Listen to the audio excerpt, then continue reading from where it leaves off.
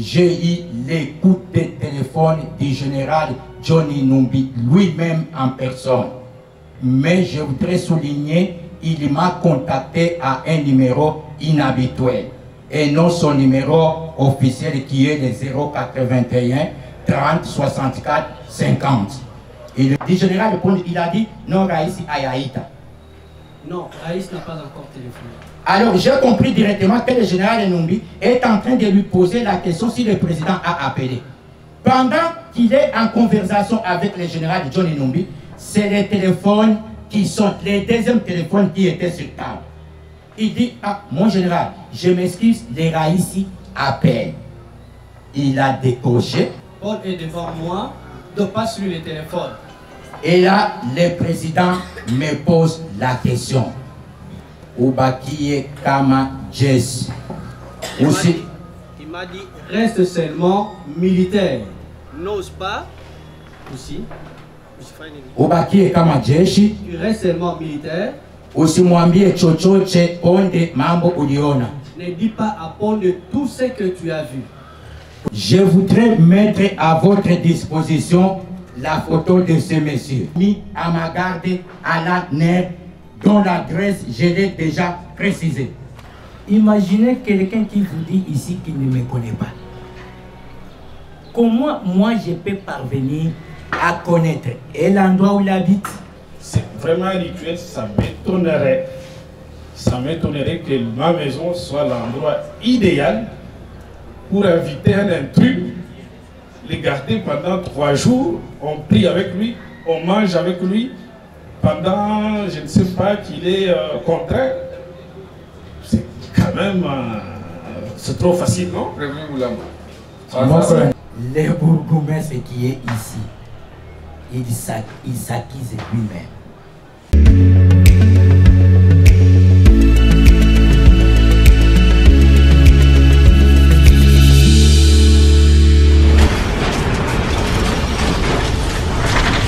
Ma mission TV, le miroir du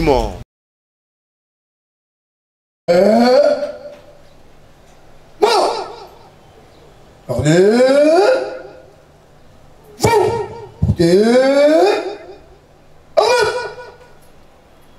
Immobile.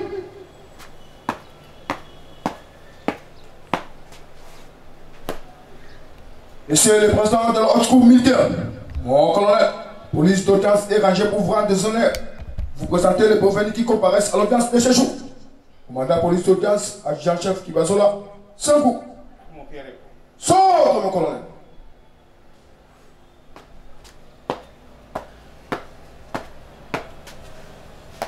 Amour. Bien. Affaire à continuation. RPN numéro 050 par 11. À cause de ministère public et parti civil contre le premier ministre après. Le commissaire supérieur Ngoy Kenga Kenga Christian, commissaire supérieur Adjepo Mulambo Londo, commissaire Jacques Migabo, prévenité, détournement d'armes et guerre, association des malfaiteurs, enlèvement, assassinat, terrorisme et désertion secte. Fait à Kinshasa, le, le 27 mars de l'année 2022, le colonel Gondé va au greffier du. Bien, commissaire Jacques Migabo. Reprenez votre place. Avocat au barreau des Poules. Euh, frères et sœurs Bazana, frères et sœurs Tchebeya, Bombé conjointement avec Maître Mikaï Mwamba Eli. Pour les mêmes intérêts, Maître Peter Mondilambo, je suis avocat au barreau près de la Cour d'appel de Kinshasa. Ce jour, nous allons entendre le lieutenant général à la retraite Pondé, euh, le lieutenant général à la retraite Pondé, ancien auditeur général. Il a été atteint. Le général de brigade Zéloa Katanga, il a été atteint. Le monsieur Douglas Okolo, est-ce qu'il est là dans la salle? Il est dans, la scène de la prison. Il faut le faire venir. Même l'ancien éditeur général qui vient. Donc nous allons entendre Douglas Nkoulou, ancien bourgmestre de la commune de Selemba au moment de fait, actuellement commissaire bourgmestre de la commune de Limete. Il a été atteint et il a reçu l'assignation. Le commissaire supérieur Mbayo Walenge, il a été atteint, mais il y a des formalités administratives à faire pour son déplacement de Lubumbashi à Kinshasa. Les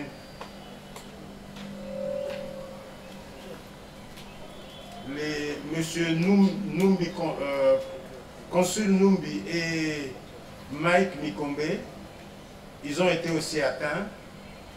Ils seront là. S'ils ne sont pas là, nous, aurons à les entendre.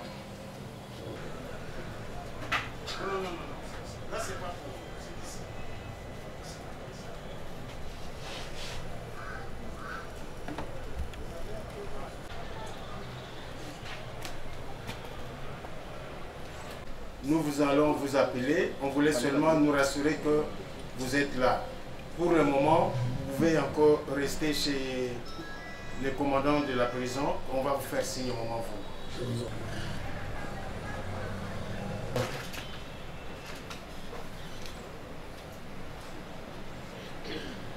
Supérieur adjoint Paul Milambo est à la barre. Euh, la, la Cour veut éclairer la, sa religion sur certains faits. Alors, nous vous demandons, la Cour vous demande de rappeler tout le parcours, comment vous êtes parti,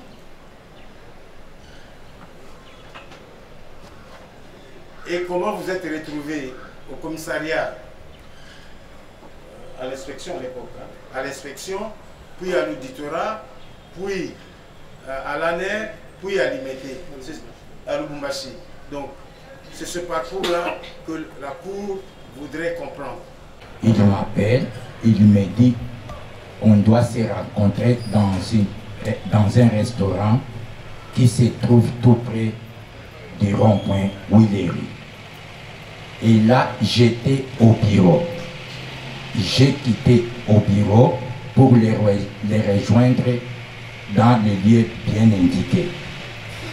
Arrivé là-bas, j'ai trouvé Maître Mbayo Walenge et Maître Douglas Nkolo. Et Maître Mbayo Walenge, qui m'a fait appel, il n'a pas pris la parole. C'est Maître Douglas Nkolo qui prend la parole libellé comme suit. Mouilambo, prépare-toi, tu vas aller à Lubumbashi. Je lui ai posé la question de savoir, aller à Lubumbashi pour faire quoi? Il m'a dit, vous allez rejoindre les autres. Les autres qui? Il a cité les noms des policiers, entre autres Jacques Mugabo et Christian Goy. Ma réponse était claire. Je lui ai dit, maître, moi, je voudrais rencontrer rien que le général Johnny Numbi. Parce que depuis les premiers jusqu'à ce jour, le général ne répond pas à mes appels.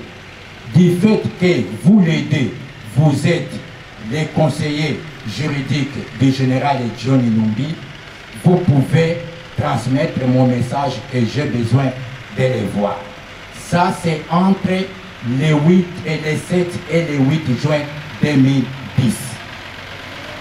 Arrivé le 10 juin 2010, vers 22 heures, j'ai eu les coups d'appel des sous-lieutenants Congolo Saddam, qui était à l'époque chargé de sécurité du général Johnny Numbi. Il me dit ceci, vous pouvez rejoindre la résidence du général Johnny Numbi, le général, a besoin de vous. J'ai quitté aux zones jusque tout près de la résidence du général Johnny Numbi. Arrivé au rond-point Mandela, j'ai eu l'écoute de téléphone du général Johnny Numbi lui-même en personne. Mais je voudrais souligner, il m'a contacté à un numéro inhabituel et non son numéro officiel qui est le 081 30 64 50. Il me dit, Mouilamboué, c'est le général. J'ai dit, mes respects, mon général. Il me dit, je vous ai fait appel. Je voudrais vous poser quelques questions. Est-ce que tu as eu l'écoute d'appel de la CNS pour aller, répondre demain? J'ai dit, oui, mon général. Il me pose encore la, la question de savoir qui vous a contacté au nom de la CNS. J'ai dit, c'est le major Mukinzi.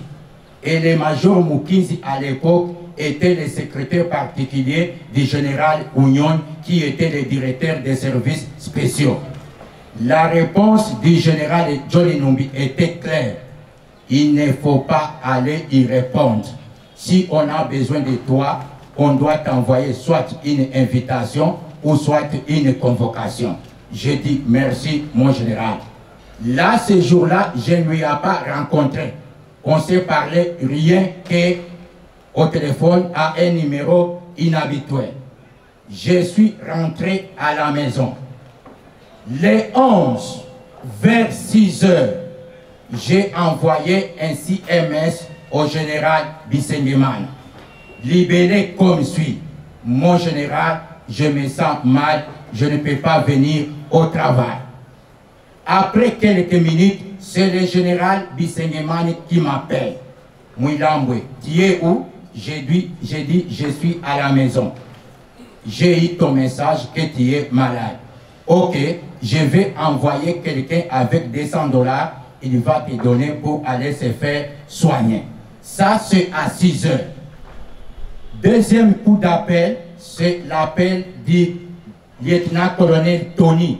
À l'époque, il n'avait pas les grades, il était commandant bataillon Cani. Tony m'appelle, Major Mouilambetier, où je dis je suis à la maison. Il me dit, mais on t'attend ici à la CNS. C'est lui qui m'a informé les problèmes de la CNS pour la deuxième fois. Ma réponse était claire. J'ai dit, écoute Tony, moi je ne travaille pas à la CNS. Je suis un officier supérieur de la police. Si on a besoin de moi, on va m'envoyer soit une convocation, soit une invitation. Et c'était fini. Entre 7h et 8h, j'ai eu les coups de fil du maître Mbayo Walenge. Il me dit, en Kilobakati, Kambo, Ujikwehi, qui peut interpréter? Il, il a dit, Mbayo me dit, Kambo, Ujikwehi. il a dit euh, petit-fils, où es-tu? Oui, il a dit petit-fils, où es-tu? Je lui dis, Nidjukunzibo. Je lui ai dit, je suis à la maison. Il me dit, il a Boyami. Il a dit, viens, j'ai besoin de toi. Est-ce que Uyuki de Kwenzi Boyami? Est-ce que vous... Est-ce que Uyuki de Kwenzi Boyami? Il me dit ceci, est-ce que tu connais ma maison? J'ai dit oui. Alors j'ai quitté jusqu'au rond-point ma- rond-point Victoire. Je lui ai appelé, il me dit, à partir des rond-point Victoire, et regardez, à gauche, il y a l'agence Ami Fidèle. Comptez première maison, deuxième maison, entre troisième et quatrième maison, je suis là. Je suis arrivé et effectivement, j'ai référé et j'ai vu la maison. J'ai entré, je ne lui ai pas trouvé à la maison. J'ai trouvé que seulement sa femme. Je lui appelle, je dis, Maître Mayo, je suis chez toi. Il me dit, non, je ne suis pas chez moi, je suis à la résidence du général Johnny Noum. Nous sommes d'abord ensemble avec le général au moment où je vous parle. Restez là-bas, je vais vous appeler. Je reste à peu près de 30 minutes. C'est le général Johnny Numbi lui-même qui appelle à son numéro habituel 081 30 64 500. Il me pose la question de savoir, Mouilambo, est-ce que tu es chez Mayo C'était à quelle date? Là, c'était les 11, les 11, 12 et les 11 juin 2010. Oui, et le général euh, vous appelle à son numéro ordinaire. À son numéro ordinaire. Continuez. Il me pose la question, est-ce que tu es chez Mbayo? J'ai dit oui. Ferme ton téléphone. C'est ce que le général Johnny Numbi m'avait demandé. Ferme ton téléphone, Mbayo va t'amener un autre téléphone. On a besoin d'électricien. Et d'ailleurs, c'est lui qui m'a informé qu'au moment où tu es chez Mbayo, il y a les éléments de l'auditorat qui se dirigent vers la résidence de Christian Goyi pour vous chercher. Raison pour laquelle j'avais demandé à Maître Mbayo de te faire appeler et rejoindre sa résidence. Et c'était coupé. Je suis resté l'épouse de Mbayo a préparé à manger pour moi. Je n'avais pas mangé. J'avais acheté que seulement de, de kwanga et autres. J'ai mangé. Je suis resté jusqu'à 18h. Arrivé à 18h, c'est Maître Mbayo qui vient avec la Jeep de la police. Là, je ne sais pas la matriculation, mais était écrit police avec Gérophare, les défendeurs. Il vient directement, il entre à la maison avec les éléments en tenue civile, mais il portait des armes aussi. Et parmi les éléments, c'est pour la première fois que je vois ces éléments. Et directement, Bayo a dit, allez, vous bloquez. Ils m'ont maîtrisé, ils m'ont cagoulé et ils m'ont embarqué dans la Jeep. Jusqu'au rond-point Mandela, il y a une, une station d'essence. Et à côté, il y a l'avenue qui se dirige vers la résidence du général Johnny Mbi. On a parqué cette station, il a pris le téléphone, il a appelé quelqu'un que je ne connais pas. Il dit, viens nous rejoindre ici. Et une fois, c'est maître Douglas Nkoulou qui vient. Et lorsque maître Douglas Nkoulou est arrivé aux stations, on a changé de véhicule. On m'a fait sortir du véhicule de la police et on m'a embarqué au véhicule de, maître Nkoulou avec les mêmes éléments et on m'a cagoulé jusqu'à la destination inconnue. Quand on était en cours de route, quand on passe Ipen, j'attendais toujours les, les gens crier Mitendi, Mitendi. Je sais que nous sommes à Mitendi. Jusqu'on a, on est arrivé à l'entrée de cité Mama Mobutu. Oh, on a entré dans la cité de Mama Mobutu. Après quelques minutes, c'est Douglas qui dit à ses policiers et faire lui incliner, parce que j'étais comme ça, mais cagoulé, faire lui incliner parce qu'on n'est pas loin de la résidence du général euh, euh, qui était l'auditeur, euh, qui est déjà mort, général Mukutu. Le général Mukutu habite tout près de moi, faire lui incliner. C'est là où je sais que le général Mukutu habite aux environs.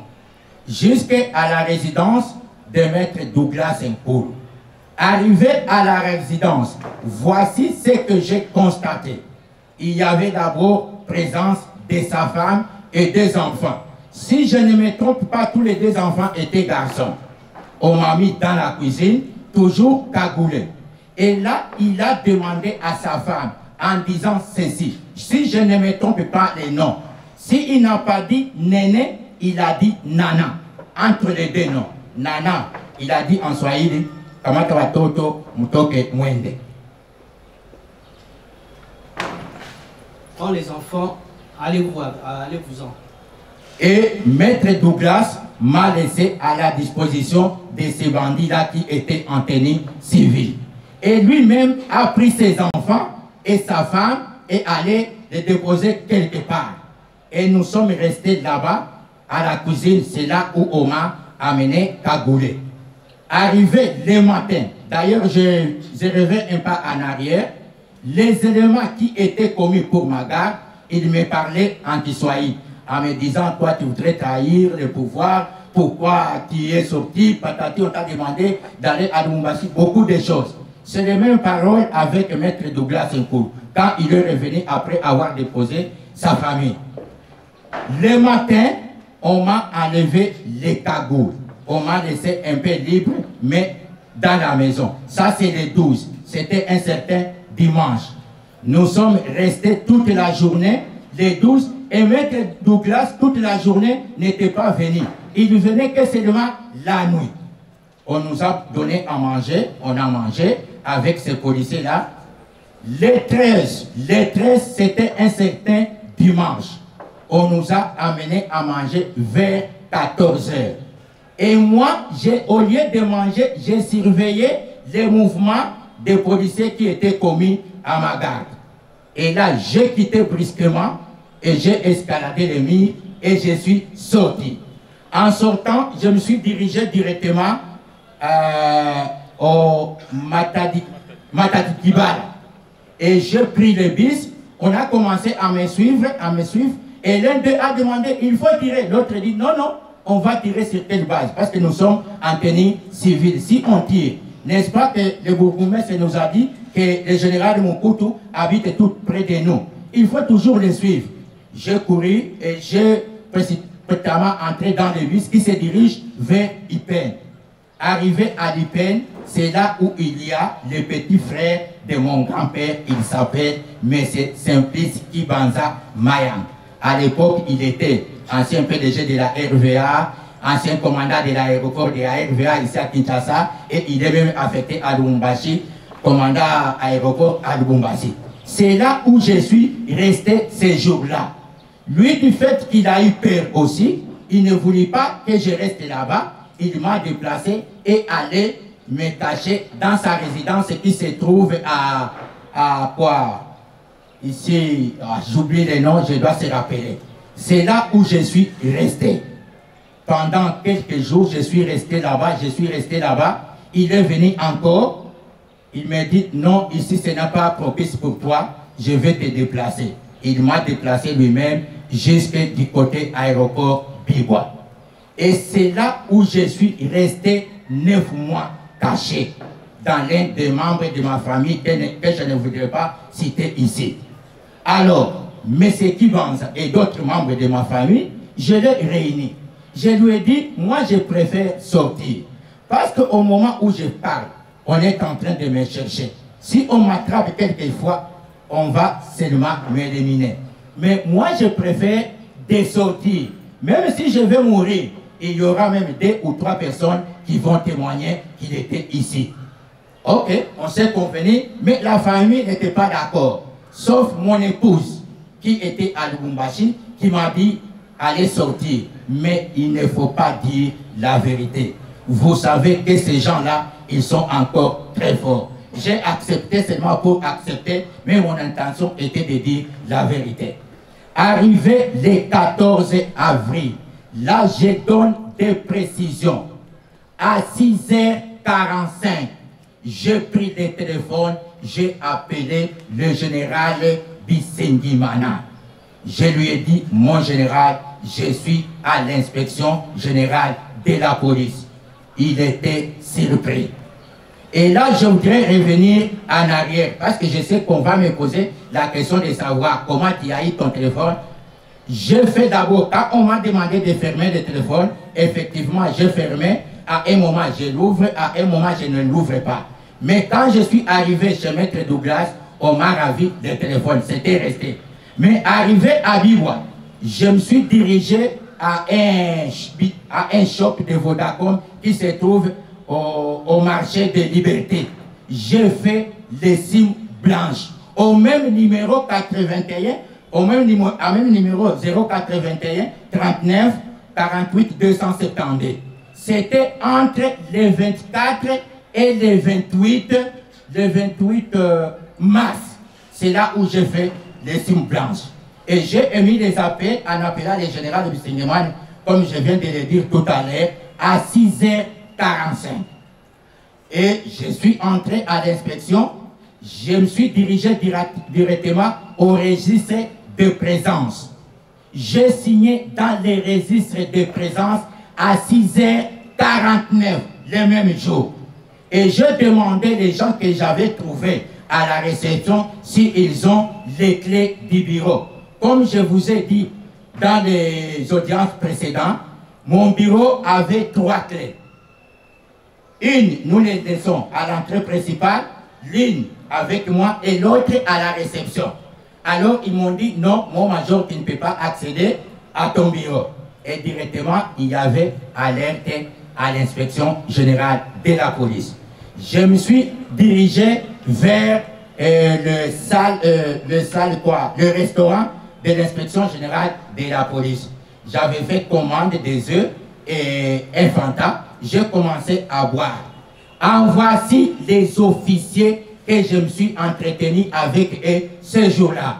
Un, le colonel Alain Moinze. Ce jour-là, elle portait un boubou de bazin. C'est le colonel Moinze qui est venu directement me rencontrer dans cette salle. Elle m'a posé la question de savoir, tu étais où? Pourquoi tu es sorti? Est-ce que vous êtes venu avec le général Johnny Noum? Ma réponse était claire. Je lui dis, mon colonel, je suis recherché par la justice. Vaut mieux venir répondre à la justice que rester toujours en cavale. Il me dit, moi je te propose seulement de quitter et d'aller quelque part se cacher. Je dis non. La deuxième personne qui est venue me voir, c'est le colonel Kalonji. À l'époque, il était directeur de la logistique de la police.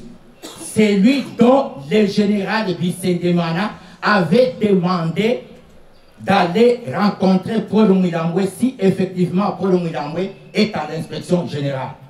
Directement, le, colonel Kalonji, c'est lui d'abord qui a procédé, qui m'a signifié verbalement que vous êtes en état d'arrestation, il ne faut pas quitter le lieu.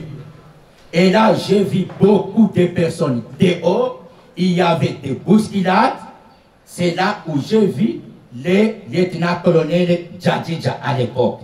Et c'est lui d'abord qui est venu me récupérer au restaurant jusqu'à sa jeep. Et on a quitté avec lui. Et derrière lui, il y avait la, jeep de la police qui était sous commandement du lieutenant-colonel Moupépé. Jusqu'à l'auditorat militaire. Là, je voudrais donner des précisions. Dès que nous sommes arrivés à l'auditorat militaire, le général Pondé n'était pas encore au bureau. Nous étions restés, moi et le lieutenant-colonel Jalidja, dans la salle d'attente. Et dans cette salle d'attente, nous avons rencontré ceux qui étaient là, je ne sais pas si étaient les chefs du protocole, était un major qui met un peu de produits qui était là. Et brusquement, c'est le général Molicho qui vient, c'est le général Nzabi qui vient.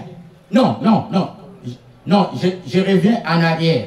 Avant que le, le colonel Molicho vienne à l'époque, et le colonel Nzabi vient à l'époque, on m'a dirigé, si vous, vous êtes dans les hangars, vous regardez devant, à droite, il y a une petite porte. Nous nous sommes dirigés là-bas avec le lieutenant-colonel Djadidja dans un bureau d'un colonel que je ne connais pas les noms.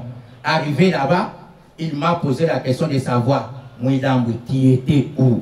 Je lui ai dit, mon colonel, j'étais caché quelque part et j'étais malade. Il m'a posé la question de savoir si tu était arrivé. Je n'ai rien dit à qui que ce soit la présence de Tchebeya à l'inspection générale.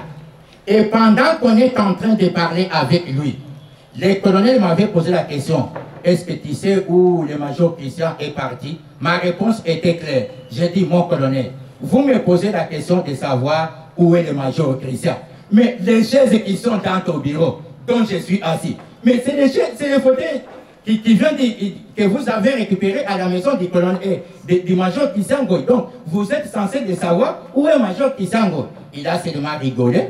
On m'a fait appel avec le général Djadidja. On est sorti dehors. Et là, j'ai rencontré les colonels Moricho et les colonels Zabi. Voici la personne qui m'a posé la question de savoir. C'était le colonel Zabi. Là, nous étions debout. Et je dois décrire comment il portait. Il portait les tenues de travail, chemise, manche, courte. Ça, c'est le colonel Zabi. Et le colonel Monicho, ce jour-là, il portait les tenues de combat. C'est le colonel Nzabi qui me pose la question.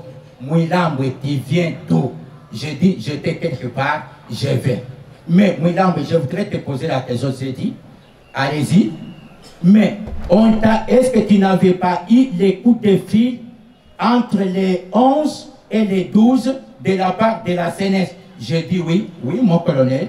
J'avais eu les coups de fil de la CNS par l'intermédiaire du major Mukizi, qui était le secrétaire particulier du général Ognon, et qui ne fait pas même partie de la CNS. Moi, je suis officier supérieur. Je ne peux pas aller répondre à la CNS ces invitations. C'est ça la réponse que j'avais donnée au, colonel, mon, euh, colonel Eddy. Et là, c'est le colonel Eddy qui a donné l'ordre de m'arrêter. Il a dit, dit, vous voyez, Kangami. Et là, on m'a pris, eka, En montant des escaliers, j'ai rencontré des officiers. Premier officier que j'ai rencontré, quand le militaire montait avec moi, avec aussi des coups, c'est à l'époque le lieutenant-colonel Nkolo. Nkolo m'a dit, ah, Major Mugambwe, qu'est-ce qu'il y a? Et la deuxième personne, c'était le capitaine magistrat Prosper Mouyumba. Voici les deux personnes que j'ai rencontrées en montant vers en haut. Et arrivé en haut, on m'a fait assis. Voilà le sang de Tchébeya, voilà lui-même, il vient, voilà le sang. On a commencé à crier, on m'a déshabillé, on m'a fait tout ce qu'il voulait sur ordre du colonel Zabi. Après quelques minutes, on a, on m'a fait descendre jusqu'au cachot, on m'a mis au cachot en bas.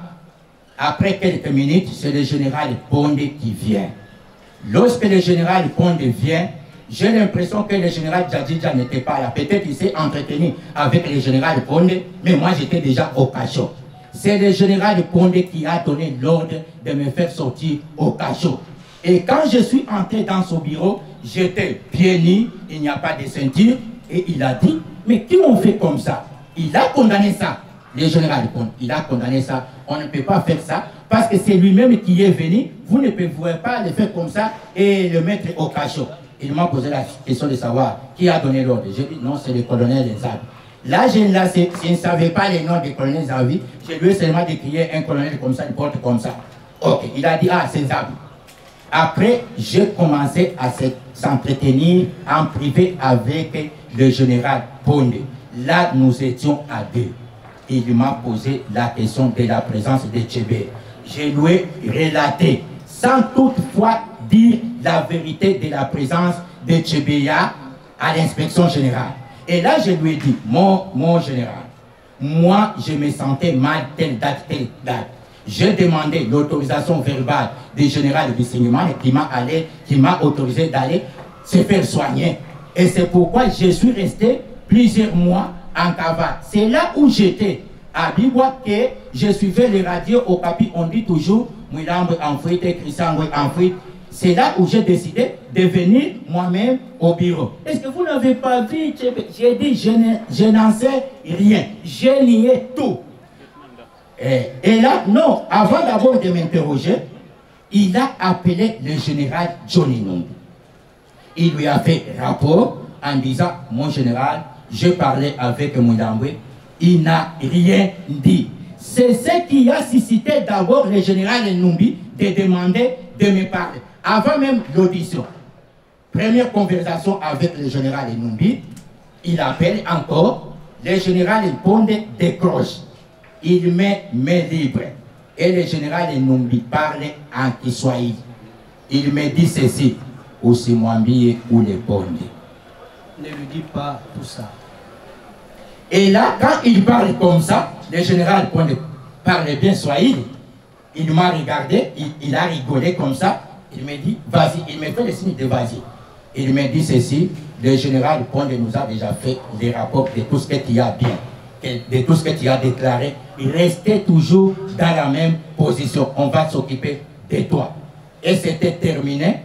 Et là, le général Pondé me dit, Mouilam, tout ce que vous venez de dire, on va t'attendre ça sur PV.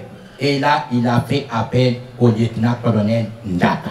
C'est le lieutenant-colonel Ndaka qui vient me récupérer jusqu'à son bureau. Et pendant l'audition à son bureau, le général Pondé est venu au bureau du lieutenant-colonel Ndaka. Parce qu'on l'appelait au téléphone, il dit tu n'as pas encore fini. mon général, non, attends un peu. Tu n'as pas encore fini. Il lui dérangeait beaucoup. C'est-à-dire que les généraux aussi recevaient des appels pour savoir si on a déjà terminé l'audition. Parce que c'est ce que tout le monde attendait. Et après quelques minutes, il est parti, il est revenu encore en présence du lieutenant-colonel Daka, qui était assisté par un lieutenant que je ne connais pas son nom. Mais le lieutenant ne m'interrogeait pas.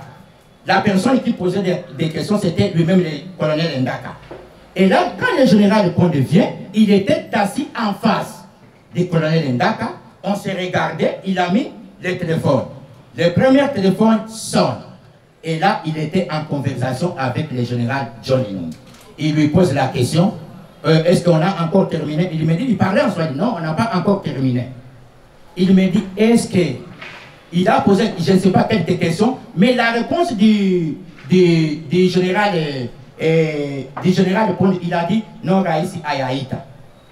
Non, Raïs n'a pas encore téléphoné. Alors j'ai compris directement que le général Numbi est en train de lui poser la question si le président a appelé. Pendant qu'il est en conversation avec le général John Numbi, c'est les téléphones qui sont les deuxièmes téléphones qui étaient sur table. Il dit, ah, mon général, je m'excuse, les Raïssi appellent. Il a décoché. Avant de décocher d'abord, il nous a fait des signes de sortir. Les mains comme ça, moi et le colonel Nda. Et moi aussi, j'ai voulu s'élever pour sortir. Il a dit, il me fait signe que je reste. Et là, le colonel Ndaka est sorti, le lieutenant est sorti, nous sommes restés, moi et le général Ponde. C'est en ce moment-là, il a décroché. Quand il a décroché, on lui pose la question. Il a répondu Raïsi, Polo et Kombele Yang. Parti, il met encore Meli. Paul est devant moi, de pas sur le téléphone. Et là, le président me pose la question. Oubakie Kama Jess. Il m'a dit, reste seulement militaire. N'ose pas. Aussi ubakie kama jeshi, seulement militaire. Usimwambie chochote Ponde mambo uliona. Ne dis pas à Ponde tout ce que tu as vu. Tutakutosha utaenda Lubumbashi. Nous allons te faire déplacer pour Lubumbashi. Ça c'est la deuxième fois, la deuxième fois que j'ai entendu mon départ à Lubumbashi en dehors de ce que Maître Douglas m'a dit. Et l'audition est terminée le colonel Ndaka a amené mon PV au bureau euh, du général Pondé. J'ai dit moi-même, nous étions à deux. Nous étions à deux avec le général Pondé. J'ai lu mon audition, c'était peut-être de 7 à 10 pages. J'ai lu page par page et j'ai paraffé. J'ai paraffé et j'ai apposé ma signature. En voici les derniers mots que le général Pondé m'a dit. Paul, j'ai tout écouté. Je sais que tu connais tout, mais tu n'as pas voulu me dire, rester toujours dans ta position. Ça, c'est le dernier mot du général Pondé. Rester ici, je dois avoir des instructions. Et je suis resté avec le général Pondé. Parfois, il me fait sortir. Je suis à la salle d'attente je n'ai pas encore rentré au cachot. Et là, avant, je voudrais encore revenir, il y a quelque chose qui me revient. Avant de s'entretenir avec le général Pondé, il a fait appel à tous les membres qui changeaient de la cour ce jour-là. J'ai vu le colonel Molicho, le colonel Nzabi entrer au bureau du général Pondé. Moi, je suis resté dans la salle d'attente. Je ne sais pas de ce qu'on s'est parlé là-bas et c'était passé. Alors, on est resté dans la salle d'attente jusqu'à 18 heures. Le général Condé appelle le colonel Moricho. Venez avec euh, ta voiture. Je dois montrer la voiture ce jour-là que le colonel Moricho avait utilisé. Si ma mémoire est bonne, c'était Mercedes, couleur euh, bleu foncé. Il est venu avec sa voiture il est resté, lui et moi, nous nous sommes vus tête à tête. Après quelques minutes, il y a M. Concile Numbi qui vient. Il était accompagné par M. Amissi, tous de l'année. Mais Amissi, on l'appelait toujours colonel Amissi. Je ne sais pas s'il est colonel ou pas. Ils ont venu avec des jeeps. Des jeeps blancs, double cabine, double cabine. Et il est entré, il s'est entretenu avec le général Pondé. En sortant du bureau du général Pondé, en voici ce que le général Pondé a dit à ma présence. Il dit, Monsieur le directeur, Mouilamboué est très dangereux pour le pouvoir et pour le président de la République. Ça, c'est le général Pondé. Je vous le donne. On m'a embarqué dans la Jeep, mais pas la Jeep du conseil, mais la Jeep où se trouvait les colonels qu'on appelait Amissi. Et derrière cette Jeep, il y avait un policier bien identifié. Il s'appelle Piton Kabila. À l'époque, il était policier de la brigade, euh, de la, euh, de l'unité de brigade de garde. Nous nous sommes dirigés jusqu'au bureau de l'année 6 sur l'avenue Mouenedito, numéro 32 dans la commune de la Gombe. Arrivé là-bas, je voudrais vous donner quelques, quelques précisions avec les photos à l'appui. Donnez-moi les facts.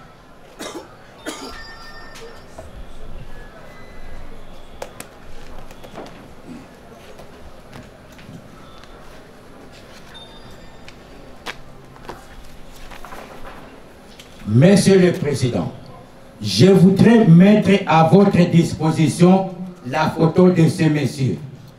Il s'appelle Maître Mikombe Ndai. Il était à l'époque chef de division à l'année 6 sur l'avenue Mweneditu, numéro 32 dans la commune de la Gombe. Au verso, vous allez voir son nom, son compte Facebook et son numéro. Deuxième aspect. Non, c'est lui, c'est le, même. Les deux photos, c'est les mêmes. Voici les policiers que j'ai trouvés encore là-bas, du bataillon SIM. Parce que j'avais trouvé cinq policiers du bataillon SIM. Mais j'avais eu la photo d'un policier. Il s'appelle Faustin Tafouteni. Faustin Tafouteni faisait partie des éléments des bataillons Simba qui étaient commis à ma garde à la NER, dont l'adresse je l'ai déjà précisée. Son nom, ça y est ici. Donné au président de la Cour. Je voudrais encore vous donner autre précision de la personne qui était chargée pour me torturer à la neige. Il s'appelle Mike Mandala Orfe. Il était garde du corps du colonel Amissi et il avait le grade de l'adjudant à la pille. C'est lui qui était chargé de me torturer, de me mettre le cracas au bras et aux jambes pendant trois mois. En dehors de lui, il y a un autre agent de l'ANER qui était commis pour me torturer. Malheureusement, il est mort en 2017, que son âme repose en paix. Il s'appelle Tocha Batomene Tondolo. Et là, à l'ANER, j'ai subi des tortures pendant trois mois. Et là, je voudrais donner des précisions. On m'a amené à l'année vers 19h le 14 avril 2011. Là même, lui, vers 22h, on m'a déplacé de Mwenedito jusqu'à à l'avenue euh, Ngouma, numéro 118, quartier Macampagne. C'est là où on m'avait déplacé, avec les mêmes éléments de la police dont je dois citer leurs noms. Premier était Mouke, il y avait Mwamba, il y avait Takuten, dont vous avez la photo, il y avait Mabele, il y avait Karambo. Tous les cinq policiers étaient du bataillon Simba. Sauf le sixième policier, Kabeya, dont j'avais déjà remis la photo au ministère public. Lui ne faisait pas partie du bataillon Simba, mais il faisait partie de la brigade des gardes.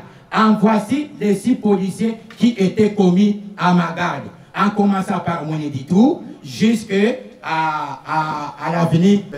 Nous rappelons que vous serez entendu comme euh, renseignant et il n'y a pas une obligation de prêter serment, mais nous allons prendre votre identité tout en vous rappelant que tout manquement à la vérité peut entraîner euh, l'application de certaines dispositions pénales. Quel est votre nom? Je réponds au nom de Koulou Numbi Douglas. Où est-ce que vous êtes né? Je suis né à Lubumbashi le 30 août 1969. Je suis fonctionnaire de l'État. Quelle fonction exercez-vous présentement? Présentement, je suis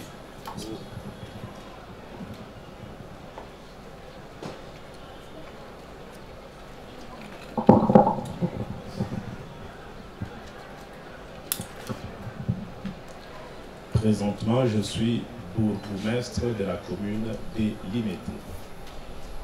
Bien. Juin 2010. À ce moment-là, qu'est-ce que vous êtes, quelle fonction vous exerciez? La commune de Séléma. Quel rapport avez-vous avec euh, l'inspecteur général de la police de l'époque au moment de fait J'ai été, au moment des faits, j'ai donné mes consultations juridiques à l'inspection générale de la police. Vous aviez un contrat? Oui, parce que j'étais dans les collèges juridiques. Monsieur Koul, il ne faut pas jouer avec le mot. Quand vous, êtes, vous donnez des consultations, c'est que vous n'étiez pas dans le cabinet. Vous veniez en tant que consultant. Maintenant, vous dites vous étiez dans le collège comme de conseiller juridique. Oui. Alors, il faut dire, j'étais conseiller juridique et non consultant. J'étais conseiller juridique. C'est simple, c'est clair. Donc, vous étiez conseiller juridique Oui. euh, au même moment bourgmestre Oui.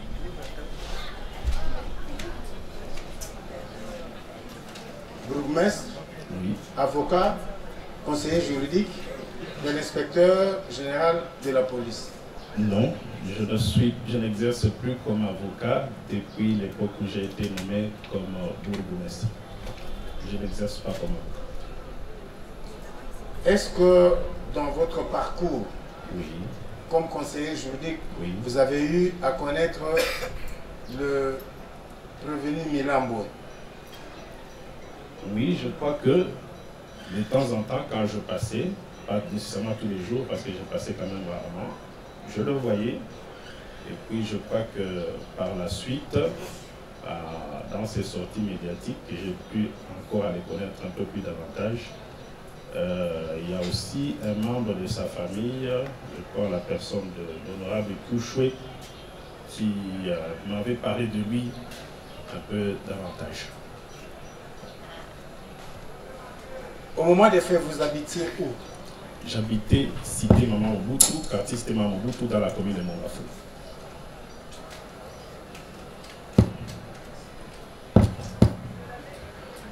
Euh, Vous étiez marié à l'époque J'étais marié. Et votre épouse, quel est le nom de votre épouse? Mon épouse s'appelle Kassongo Lumbwe, s'appelait Kassongo Lumbwe Nana. Elle est morte Elle est décédée. Oui, elle est décédée, je suis veuf. Donc, elle s'appelait Nana. Kassongo Lumbwe. Nana. Oui. Et vous aviez, au moment de faire combien d'enfants? Deux enfants indépendants.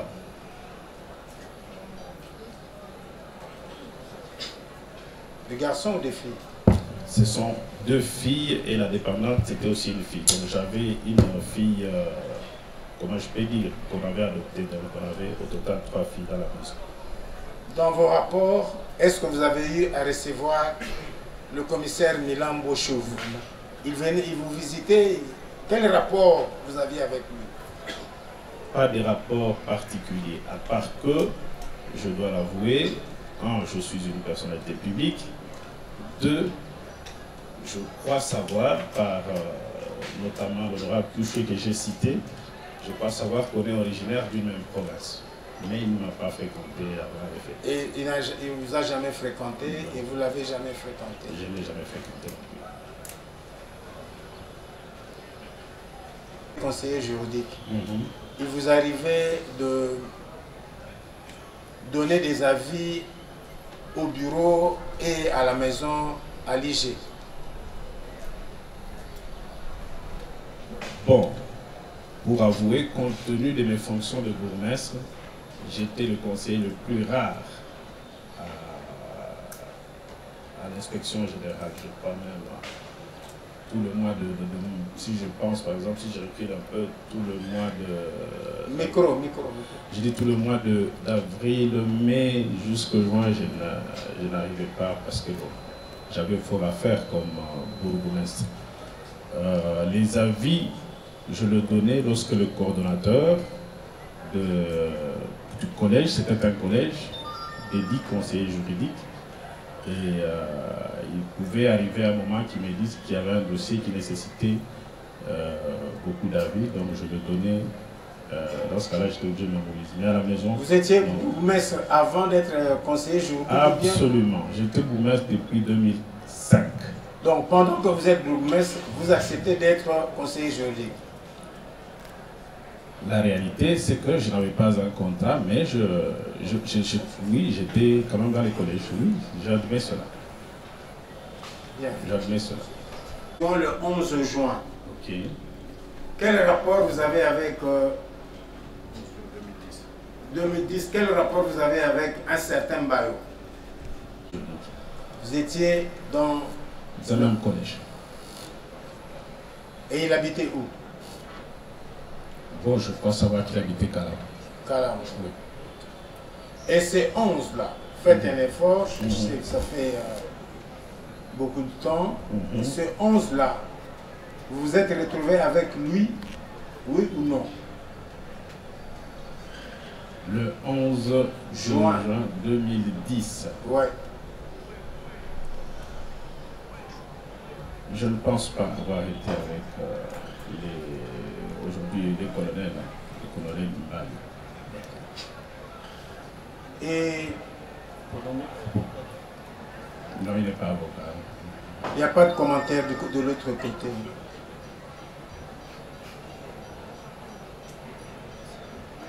Et donc, vous dites, vous n'avez pas de souvenance Je n'ai pas de souvenance qu'on était ensemble. ensemble.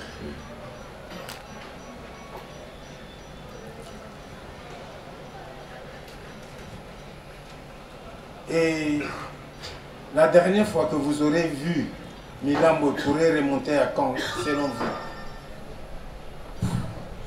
Mon Dieu. Pour dire vrai, comme je l'ai déclaré bien avant, euh, ne le fréquenta pas, lui ne me fréquentait pas, je ne peux pas vous dire quand est-ce que je l'ai vu pour la dernière fois, parce qu'on ne se fréquentait pas personnellement.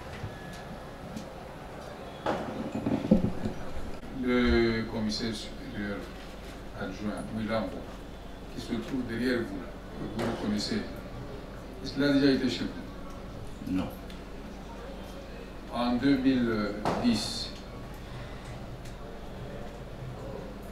il n'a pas été chez vous? Non. Est-ce que vous avez eu à déplacer à un moment, 2010, votre famille, épouse et enfants, de la maison pour les amener ailleurs Non. C'est à quel mois vous avez dit au mois de juin? Les examens. Et j'habitais non loin de l'école des enfants. Pourquoi je l'ai déplacé Donc vous le reconnaissez ah, chez, Je n'ai jamais déplacé mes enfants. À part votre épouse et les, les enfants, les trois enfants dont vous avez parlé ici, il n'y avait personne d'autre chez vous j'avais un policier affecté officiellement par le commissariat de Selembao, un policier dont d'ailleurs je dois encore avoir le nom, il s'appelait Ibrahim Kabounji. J'avais un policier à la maison. Le commissaire supérieur adjoint Mouilambo dit qu'il a été chez vous, à la cité Mahombo, et qu'il y est resté même euh, pendant quelques jours. Qu'est-ce que vous dites? C'est à lui de m'en fournir la preuve. Et il résidait, il est venu rester où? Parce que je suis resté, avec ma- j'ai resté avec ma famille de manière permanente. C'est à lui de. Euh, Mouilambo.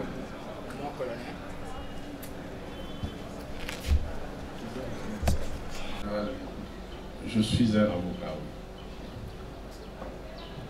Est-ce qu'il habitait dans le même quartier? De notoriété. De notoriété. Je vous pose la question. Oui, il habitait le quartier. Il habitait le quartier. je- Voilà ce que je peux dire. Notoriété. arriver chez vous, on passait devant chez lui ou... Non. Sa, sa route n'était pas une voie pour arriver chez moi. Pour arriver chez moi, vous entrez jusque chez moi. Donc, vous Mais vous étiez donc dans le quartier ensemble. Il était dans, vous dans Il- le même quartier. Oui, j'habitais Mamobutu. oui. J'ai Ok. fait, je crois, j'habitais Mamobutu. Le prévenu Mou- Moulambo. Mon colonel. Est-ce que vous... Voilà, mais Monsieur Douglas Nkoulou. Oui.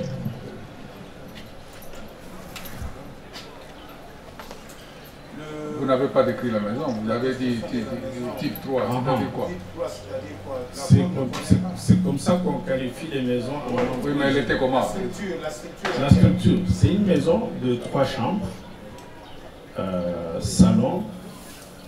Euh, chez moi, je crois j'avais une seule toilette et une petite cuisine.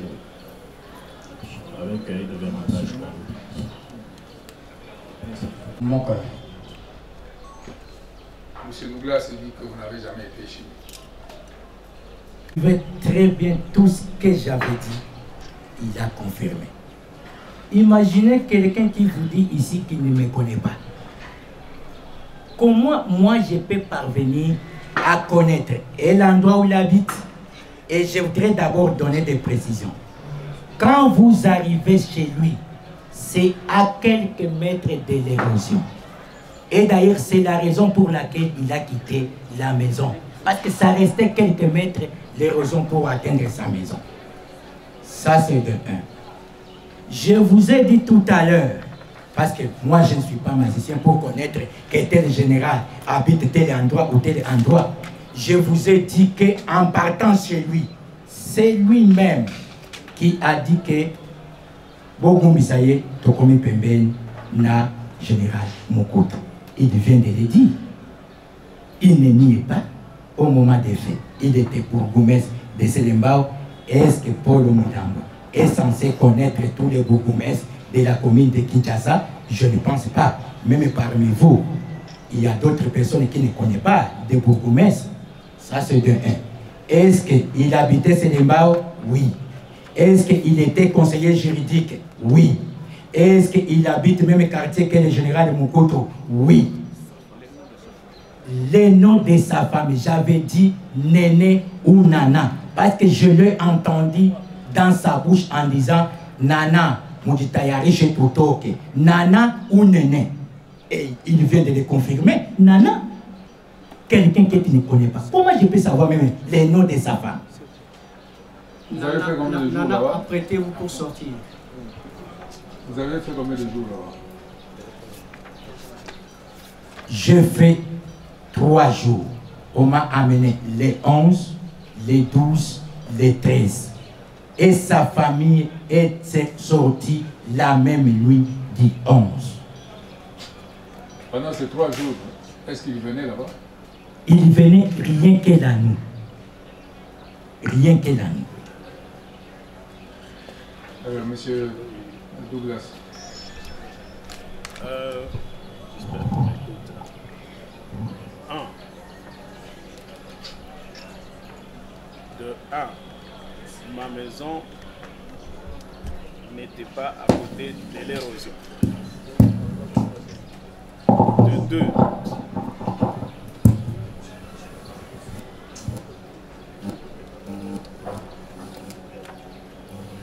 je, je n'habitais pas Selemba comme il vient de le répéter tout à l'heure. De trois, de trois, je suis une personnalité publique. La maison est connue est connue de tout le monde. Si vous arrivez à Mobutu jusqu'à ce jour, bien que je ne suis plus depuis 2015, rien qu'à la première entrée, si vous dites, vous pouvez nous montrer la maison du bourgmestre de Limité, parce que j'ai quitté quand j'ai été permis pour Limité, tout le monde vous la donnera. Tout le monde connaît le nom de, de votre épouse Ma femme, je ne sais pas comment il connaît mon nom, parce que ça, je vais, je vais rapidement expliquer cela. Un, est-ce que pour parler à son épouse, on est obligé de pouvoir lui l'appeler par son nom? Il pouvait peut-être ajouter que je lui ai dit Nana Kassongo a enlevé les histoires. De deux, je souligne, Monsieur le Président, je souligne, Monsieur le Président, que qu'est-ce qu'il a dit encore là? Il dit euh, que est-ce que je manquais des téléphones ou des unités, ne fût que par rapport à mon boulot, si c'est ce qu'il prétend que j'ai fait partie de ma famille. Quand lui est arrivé, je manquais de téléphones pour déplacer ma famille loin de lui. Je suis aussi naïf que cela, que je vais attendre euh, le monsieur venir chez moi pour dire Madame, les enfants, allez devenir maquisards quelque part, famille du bourgmestre. Je termine en disant ceci. Monsieur le Président, vous vivez comme moi. Une vie d'autorité, ça signifie que c'est une vie publique, une vie protocolaire, où quand quelqu'un arrive chez moi, moi je reçois les honneurs le matin de ma garde, quand quelqu'un arrive, il doit être identifié pour entrer, j'avais une garde qui est identifiable, je ne sais pas comment il s'est invité dans mon intimité pendant trois jours.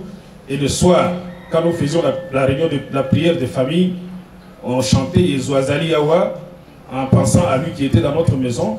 Il a dit que le, même soir, là, vous avez déplacé votre J'avais besoin d'attendre qu'il vienne pour déplacer. Je la déplacerai où? Ils sont, j'habite à côté de la maison. Je vais la de, de, l'école des enfants. Je vais vous, aviez, vous, aviez, combien d'éléments de garde chez vous à la maison? En ce moment-là, une seule, qui s'appelle Kabunji euh, Ibrahim. Je crois que cet élément est encore actif à la FUNA. Quand un seul élément qui est de garde chez vous vous rend les honneurs, ça fait du bruit. Pardon, pardon Monsieur le Président. Lorsque un seul élément qui est de garde chez vous je suis, en train, je suis en train d'expliquer les genres de vie que mène un bourgmestre. C'est une vie très protocolaire. Chaque matin, par exemple, chaque matin, je ne manque pas de visiteurs. C'est rituel. Si ce n'est pas pour les cas sociaux, je les ai parce que c'est des membres des familles qui viennent me voir c'est vraiment un rituel, ça m'étonnerait, ça m'étonnerait que ma maison soit l'endroit idéal pour inviter un intrus, les garder pendant trois jours, on prie avec lui, on mange avec lui, pendant, je ne sais pas, qu'il est euh, contraint. C'est quand même, euh, c'est trop facile, non? Pendant, pendant ces trois jours, puisque lui ne venait que la nuit. Oui. Toute la journée, depuis le matin jusqu'au soir, personne n'arrivait là-bas. Personne. Personne. Le président peut me demander s'il y avait une garde ou bien s'il était resté seul. C'est à nous de poser les questions.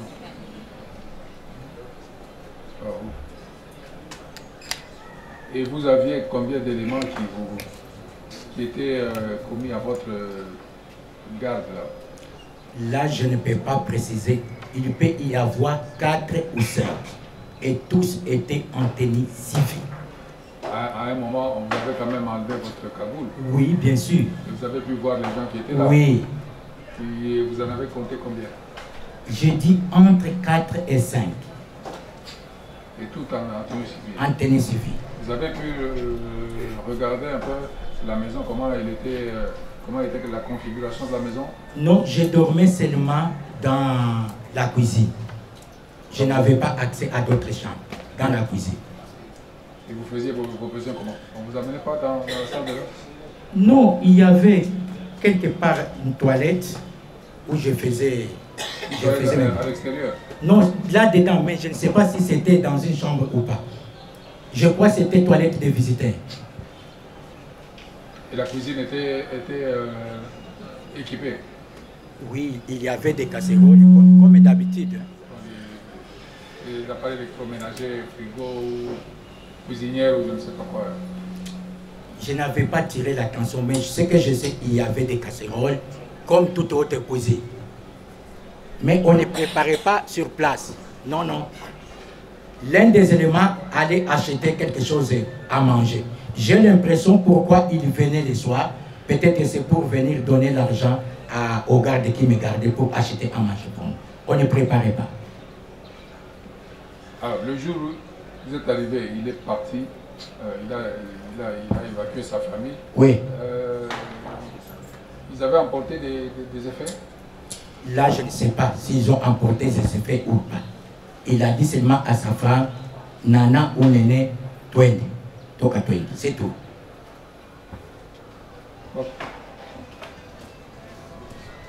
Vous avez des antécédents avec euh, Paul Milambo. Logique avec. Euh, J'étais quand même un, un peu surpris après de savoir qu'il y a des personnes qui lui sont proches et qui me le sont aussi et qui les demeurent curieusement. Qui les demeurent. Voilà, si je peux m'arrêter. Mais il vous cite quand même dans des faits assez, assez graves d'enlèvement, euh, d'arrestation arbitraire, alors que vous n'avez pas d'antécédents. C'est- ne trouvez pas que c'est surprenant? C'est très grave. Je, je suis en train de me demander euh, qui lui met ça dans la bouche. Et vous pensez qu'il aurait fait pourquoi? Vous citant vous personnellement, de l'avoir euh, arrêté arbitrairement, de l'avoir enlevé, séquestré pendant trois jours chez vous, ben, il aurait fait pourquoi, d'après vous? J'aimerais vraiment d'abord rappeler, peut-être qu'on ne m'a pas donné l'occasion de le dire, c'est que je suis un civil. Je n'ai fait d'autres études que celles de droit. Je n'ai jamais fait, même à, ma présence à, à la- générale de la territoire, ce n'était pas une présence euh, policière ou militaire. Donc, je, pour revenir à ça, ce qui m'étonne, c'est que sa famille biologique ne m'a jamais reproché quoi que ce soit. J'ai siégé jusqu'il y a très peu avec euh, son tuteur de l'époque, je suppose, M. Kibanza, comme collègue dans les collèges des présidents des territoires du Tanganyika. Ça signifie que c'est quelqu'un, je ne veux pas parler à sa place, qui m'embrasserait s'il me voyait.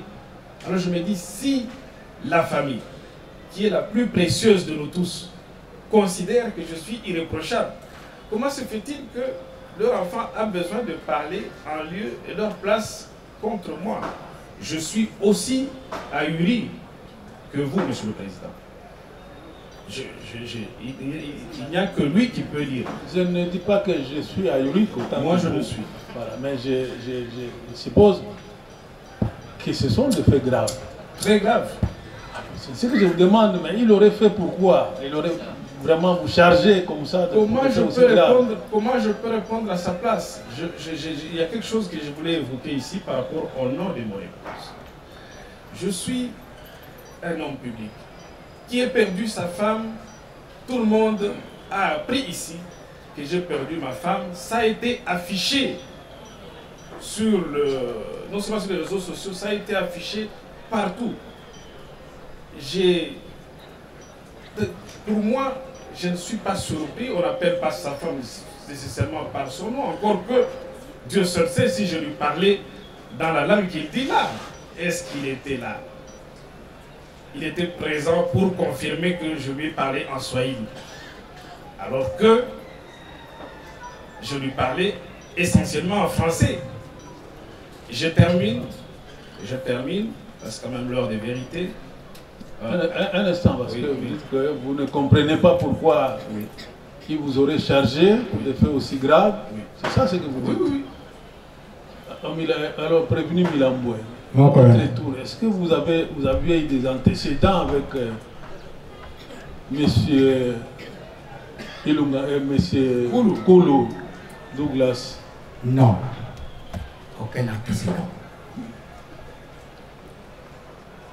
Est-ce que euh, vous pouvez donner d'autres détails hein, euh, pour euh, ces faits-là d'arrestation, d'autres détails précis?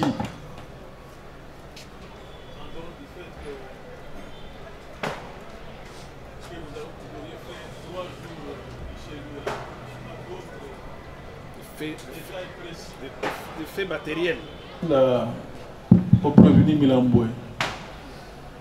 Monsieur le Président, le bourgmestre qui est ici, il s'ac- il s'accuse lui-même. Vous l'avez bien suivi. Il dit qu'il s'est s'entretenir avec l'un des membres de ma famille. Il a cité Monsieur Koursoué. C'était sur quelle base? Quelqu'un que je ne, je ne côtoyais pas. Il s'est s'entretenir avec les membres de ma famille sur quelle base? Je voudrais donner les précisions. Parce que je me souviens que vous m'avez posé dans les audiences antécédentes qu'est-ce que j'avais remarqué dans lui. D'abord, la haine. Deuxièmement, la haine par rapport pourquoi j'avais fui. Parce que selon eux, Mouilamoué était un colis à éliminer. Selon eux. Raison pour laquelle, Monsieur le Président, ces jours-là, il avait quitté sa femme. Je viens de l'entendre tout à l'heure en parlant, est-ce que pour, euh, pour dire à ma femme, sortez, il faut que je cite les noms. Mais on le fait souvent. Et il vient de dire ici que sa femme, il, lui parlait en français. Mais c'est du mensonge. Sa femme, je vous dis très bien, parle bien Swahili et elle est des Congolo.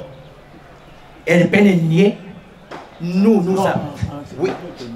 Tout ça, il a pris la nuit. Monsieur le, le renseignant, est-ce que, quel rapport vous avez euh, avec les, les générales disons, euh, John Numbi, en dehors du fait que vous étiez, vous aviez évolué dans, euh, dans- comme conseiller juridique? Quel autre rapport? Vous avez des rapports de famille? C'est une très bonne question, Monsieur le Président. Je n'ai pas de rapport en famille avec euh, le général Mombi. Il est originaire de la province de Olomami. Moi, je suis originaire de la province euh, de Tanganyika. Voilà. Donc, euh, on se connaît. Oui. Non, je suis d'accord avec lui, il ne venait pas régulièrement. Mais celui qui venait régulièrement, c'était Mbaye. Parce que c'est c'est lui qui était comme leur chef. Alors, je reviens vers vous, euh, à vous plutôt. Mais comment est-ce que, certes, vous dites que vous êtes euh, une autorité publique, mais il y a des domaines, quand il connaît même le nombre d'enfants que vous avez, le nom de, de votre défunte épouse, ça n'a rien de. ce n'est pas lié à, à vos fonctions. Combien d'années que les faits sont déroulés, les faits déplorés Excusez-moi, juste pour mémoire, nous sommes en 2010, oui, donc 12 ans. En 12 ans, lui probablement travaille sur le dossier. En 12 ans, Monsieur le Président, c'est difficile de savoir. Quelqu'un me disait, arrête de- de- de- d'afficher les photos de tes filles sur ton profil, ce n'est pas bien. Je n'avais pas compris ce que la personne voulait me dire, mais aujourd'hui je comprends que, mais à ma connaissance, et là, à ma connaissance, il doit avoir, oui, tout ce qu'il dit là, ce n'est pas la nuit qu'il a appris que ma femme est de tel point, ce n'est pas la nuit. Il, est arrivé, selon lui, je l'ai évacué et il a appris qu'elle était de quel côté, elle parlait le Swahili. Je termine par dire qu'il a des membres de famille, il y a un membre de famille qui a étudié avec mon épouse. Lui, là, il a un membre de famille qui a étudié avec mon épouse. Donc il ne faudrait pas quand même qu'on qu'on Monsieur qu'on le le qualifie de Président, devin. d'autres questions exercice que la Cour vient de le soumettre, croyant peut-être qu'il allait se dédire, mais il est resté constant. Maintenant, on vous invite à pouvoir dire ce que vous connaissez sur ce que Milan a dit, vous niez c'est votre droit de pouvoir nier. La Cour vous a rappelé, avant de pouvoir poser la question, que les articles 130 et 131 du Code pénal ordinaire livre 2 risquent de trouver application. Lorsque la Cour arrive à comprendre que vous êtes en train de mentir. Milan est clair. Il rencontre les difficultés qu'il a rencontrées parmi lesquels il s'est réfugié chez vous. Pas qu'il s'est réfugié, mais on l'a amené chez vous. Il a identifié la maison. Il a cité le nom de votre femme. Il a cité le nombre des enfants que vous avez. Il a même dit que vous, habitiez le même quartier que le feu général Moukout. C'est ça qui s'est avéré vrai. Pourquoi ne pouvez-vous pas accepter au lieu de mener ou d'amener la cour à un chemin perdu d'avance. On dira toutes les conséquences. Parce que toutes les questions qu'on vous posera, vous allez toujours dire que je ne connais absolument rien. Alors que vous-même venez de le dire, que vous êtes une autorité publique. Et la population vous regarde. La Cour a dit, pourquoi cette accusation dans des faits si graves Peut-être que vous ne semblez pas comprendre. Alors je vous pose la question.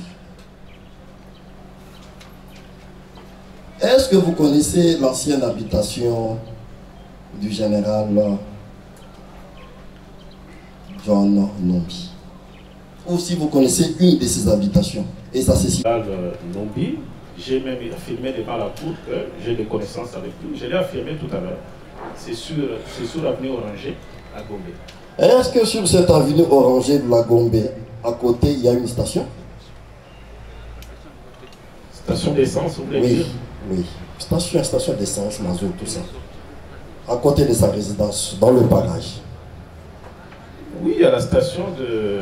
qui appartenait à un de mes amis de Séléba au Kindokidoki. Bon, je ne connais pas. C'était pour Kindokidoki. Oui, au, au moins euh, dans les appartements. Oranger, Oranger. Oranger. Mais c'est ce que Milambo a dit. C'est là que on vous a appelé et vous l'avez pris de là jusque chez vous. Ah, ça. parler sur euh, ce que le ministère public a dit. Vous avez la parole. Merci beaucoup, Monsieur le Président. J'ai rappelé à cette auguste cour que j'étais premièrement un civil. Je suis civil et chrétien. Je je n'ai jamais imaginé la capacité de nuisance que pouvaient avoir des personnes comme lui qui travaillent régulièrement sur ce dossier, qui pouvaient s'informer du nom de ma feuille épouse, à laquelle je rends hommage. Est-ce que vous pensez que moi, j'ai les capacités et physiques de pouvoir enlever monsieur, l'amener dans ma famille, dîner avec lui, manger avec lui jusqu'au point qu'il dise que quand vous lui posez des questions précises par rapport à la cuisine, Il n'a pas dit ça. il dit que dans la cuisine, il y avait des casseroles. Attendez, attendez, attendez. Vous voulez. Il n'a jamais dit ça parce qu'il y a d'autres questions qui ne vous ont pas été encore posées. Il a- Merci. il n'a pas dit que vous êtes venu le prendre. Monsieur le Président, Oui. est-ce que la... Comment ne pouvait-il pas connaître particulièrement Paul? Parce que Paul était comme la porte d'entrée par rapport aux visites de John Mumbi. Comment lui ne pouvait pas connaître Paul? Bien plus.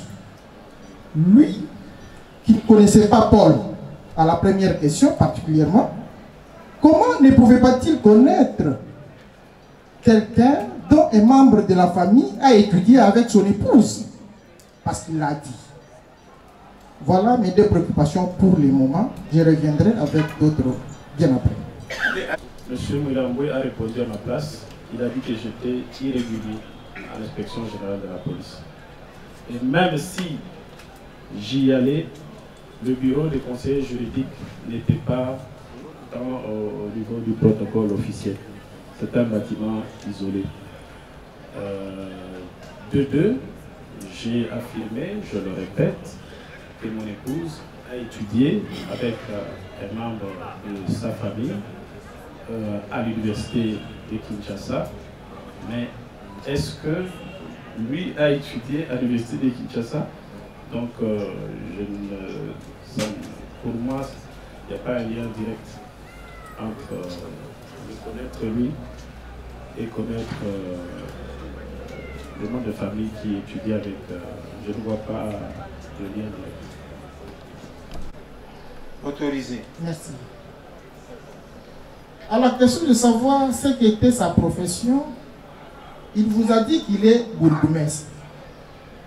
Je voudrais savoir, entre la profession d'avocat et le bourgmestre, ce qui est la profession, c'est la profession d'avocat ou le mandat de bourgmestre? Que je sache, être bourgmestre, c'est un exercice, des mandats. Peut-il confirmer qu'il est, il a pour profession oh, les charges de bourgmestre en dehors de sa qualité d'avocat? Répondu à cette question en disant que depuis que je suis je ne pratique pas comme avocat. Je voudrais connaître l'année où il a sollicité son émission volontaire en tant que membre du Conseil de l'ordre. Je pose cette question. Oui, notifié, c'est à la date où j'ai été nommé bourgmestre, le lendemain, avant de prendre mes fonctions, j'ai officiellement notifié au bâtonnier et qui en a donné acte.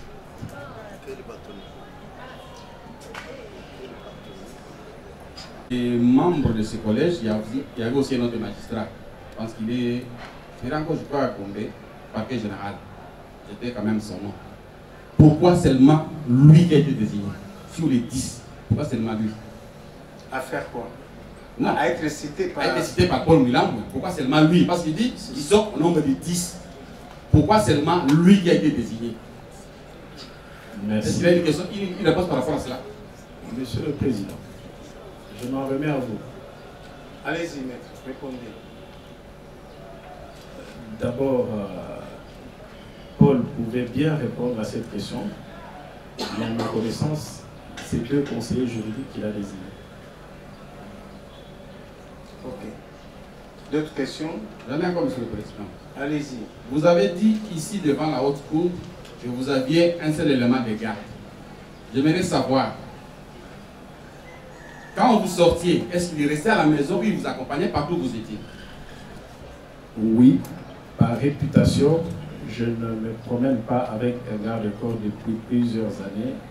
Le garde-corps restait pour juste euh, protéger ma famille. Par réputation, tous ceux qui me connaissent de près savent que je j'emploie rarement, sauf, sauf quand je suis en mission de service. Même maintenant où je suis venu ici, je n'ai pas de garde-corps. Monsieur le Président, une autre question. Euh, lorsque ces gens sont arrivés, pouvait-il imaginer, parce que je crois qu'on a démontré ici les liens qu'il initiait avec John Nung. Lorsque... Pardon? C'est lequel? Maître, il n'y a pas de, débat entre vous deux. Excusez-moi. monsieur.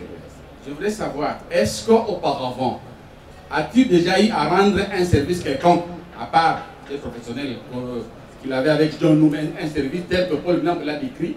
C'est-à-dire qu'on lui a demandé de- d'exercer ou de jouer un rôle dans un autre, dans un autre, euh, euh, dans une autre situation à côté J'étais là dans le collège, collège juridique. Je crois que si il m'est arrivé un jour de donner euh, un service, il doit rester juridique. C'est ça ma spécialité. Je n'ai rien d'autre appris dans la vie Monsieur le que le, le droit. est-ce qu'il peut me donner son cursus après l'université? Qu'est-ce qu'il a eu à faire comme, comme, comme métier Ça va, Renan, ça- Je peux le dire, c'est avec beaucoup de d'aisance. Si, Monsieur le Président, parce qu'il a même avec beaucoup de détails. Allez-y. Je suis de la promotion 96-97 à l'université de Kinshasa. Et après cela, j'ai travaillé comme conseiller juridique d'un groupe très connu qui s'appelait Intermarket dans les vivres frais. J'ai travaillé plusieurs années dans ce groupe avant de pouvoir rejoindre le barreau. Quand j'ai travaillé au barreau de Kinshasa, et quand j'étais avocat au barreau de Kinshasa Gombe, en 2004, j'ai été admis au cabinet du gouverneur de la ville comme conseiller juridique, le gouverneur euh, Jean Kimbunda.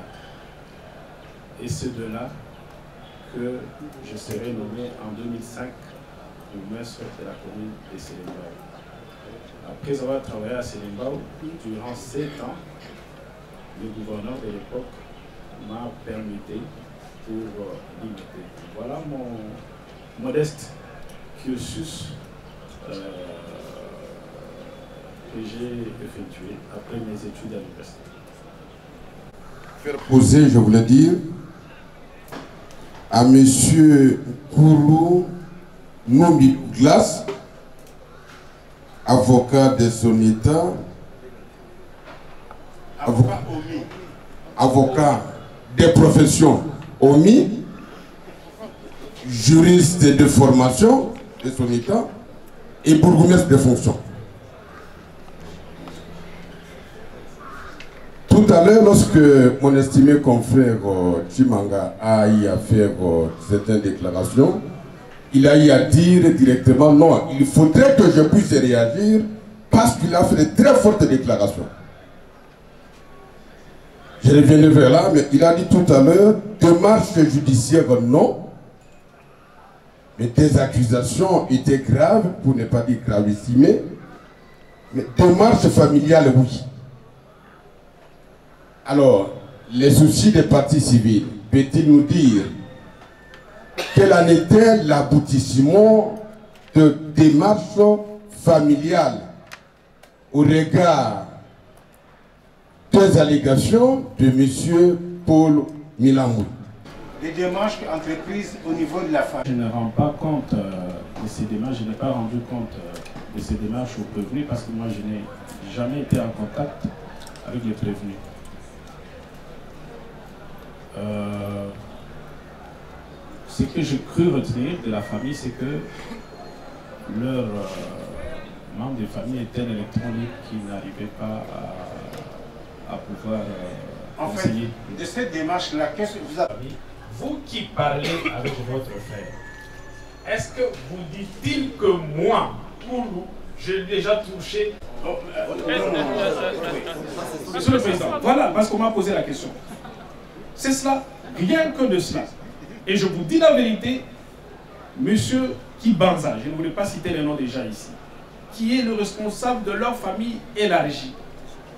Pensez-vous que si moi, j'ai apporté violence à son fils, il n'aurait même pas lui aussi, par rapport à ce que votre question, dénoncé, même auprès des associations de droits de l'homme, ou dénoncé en justice. Il aurait attendu 12 ans après pour qu'on le ramène ici.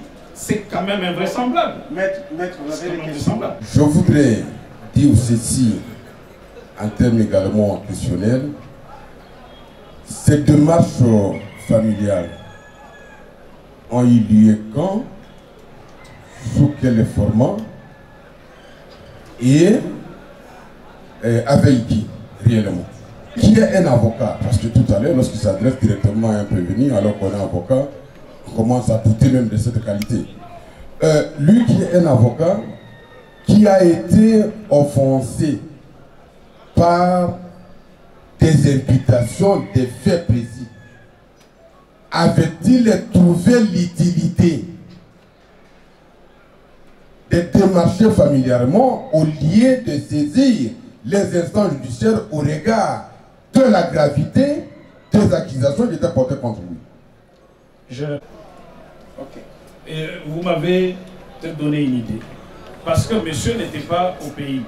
Quel intérêt aurais-je euh, de pouvoir me mettre à saisir les instances judiciaires pour, le, poursuivre alors qu'il était en, cavale oui, vous avez la parole. J'ai fini, monsieur le Premier Président. J'ai fini. Merci. J'ai fini, Monsieur le Premier Président, à faire, euh, faire poser ma question une observation à M. Paul Milamoué, parce qu'il a été parlé de lui autour de ce démarche familiale. Est-ce que certains membres de la famille l'auront contacté pour lui faire part de ce démarche familiale euh, qui ont été menées par euh, M. Douglas? Réponds en disant il n'y avait pas eu de démarche de la part du bourgmestre Douglas. Bien au contraire, il y avait eu des menaces du bourgmestre aux membres de ma famille. Je voudrais dire ceci, parce que ce qui nous lie entre moi et le bourgmestre, c'est le travail. Je n'ai jamais été chez lui. Comment lui, il a dit que telle personne a fait ses études à l'université avec sa femme, sans toutefois moi-même lui dire. Parce que je n'ai jamais parlé à Bourgmestre que tel et est membre de sa famille. On parlait que seulement rien de travail. Mais il vient de dire qu'il est un membre de ma famille qui avait des études avec sa femme. C'était sur quelle base, sur quelle constance il a su que telle personne est membre de la famille de Paul Milan J'ai dit. Je vais poser la question à M. Douglas. S'il devait donner l'âge de ses enfants, et avant de les faire, il a dit qu'il avait trois enfants. Lorsqu'il lui donne l'âge de ses enfants, il n'a donné que l'âge des deux enfants en 2010, soit 9 ans, 7 ans. Est-ce que cela ne confirme-t-il pas qu'il n'avait que deux enfants à son temps-là, comme l'a déclaré M. Paul Milambo? J'aimerais que la Cour note que le premier Milambo vient de déclarer de manière péremptoire qu'il n'a jamais été chez moi. Merci. Euh, je passe à la question. Non, non, non, non, non, non. Je passe. Il n'y a, pas un débat, c'est la Cour qui va tirer toutes les conséquences. Je n'ai jamais été chez lui, je ne lui ai jamais parlé. Je passe à, la question, je passe à votre question. Je crois, lorsque vous m'avez demandé de donner la composition de ma famille, je vous ai dit que j'avais deux enfants et des dépendants, et parmi les dépendants, il y avait une euh, fille. Donc, euh, c'était quelqu'un qui vivait avec nous, euh, qui est une orpheline, mais membre de famille qu'on avait adopté et qui avait à l'époque 14 ans. Elle s'appelle Armel. Si vous voulez le nom de famille aussi, je vous dis. Mon estimé confrère David Chimanga vous dit qu'il y avait certainement des rapports avec euh, le général John Numbi, parce qu'on ne peut pas penser qu'au niveau de l'administration de la police, qu'une personne ne soit engagée verbalement, lui-même l'a dit qu'il n'a jamais été notifié d'une quelconque décision, mais il est allé prendre fonction. Mais lorsque nous prenons, je note qu'il s'appelle M. Koulou Numbi Douglas, et que le général Numbi s'appelle le général John Numbi, à un certain moment, je peux penser qu'il s'agit des noms de famille. À un autre moment, je peux penser qu'il doit être une association de Numbistes. Vous pouvez comprendre la suite et qu'il ne peut que rendre service à celui qui l'a envoyé illégalement. Euh, la Cour voudrait poser quelques questions des faits qui ont eu lieu euh, au mois de juin 2010, 2011. La première chose, est-ce que, est-ce que, au cours de votre exercice de fonction de directeur général, vous avez eu à recevoir le, six devant commissaire euh, supérieur adjoint Milamboué et dans quel contexte? Monsieur le greffier, je confirme que Milamboué était reçu à l'auditorat général par l'auditeur général que j'étais à l'époque. Et dans quel contexte vous dites? Nous étions en plein, je dis bien, en pleine enquête dans l'affaire assassinat de M. Chibea et M. Bazana. Alors, nous avons mis, j'ai mis toutes les batteries en marche pour qu'on puisse retrouver tous ceux qui étaient impliqués de, près ou de loin dans cette affaire. Mouilamboué était euh, technicien chargé de, machines pour euh, les caméras vidéo à l'inspection générale de police. Nous avons pu mettre la main sur quelques-uns de ces, de ces personnes que nous cherchions. Et euh, à cette époque-là, le nom Milamboué ne nous intéressait pas. Mais le nom Milamboué apparaît lorsque je fais descendre sur le terrain, c'est-à-dire l'inspection générale de la police, une équipe de magistrats qui m'ont entouré pour aller voir d'abord s'enquérir sur le bureau de, de, Paul Milamboué et savoir si les équipements qui se trouvaient dans son cabinet, parce que je précise ici que moi j'y allais souvent dans le cadre de collaboration entre services et l'institution. Je savais qu'il y avait un monsieur là, je ne connaissais pas le nom, mais qui manipulait des caméras vidéo.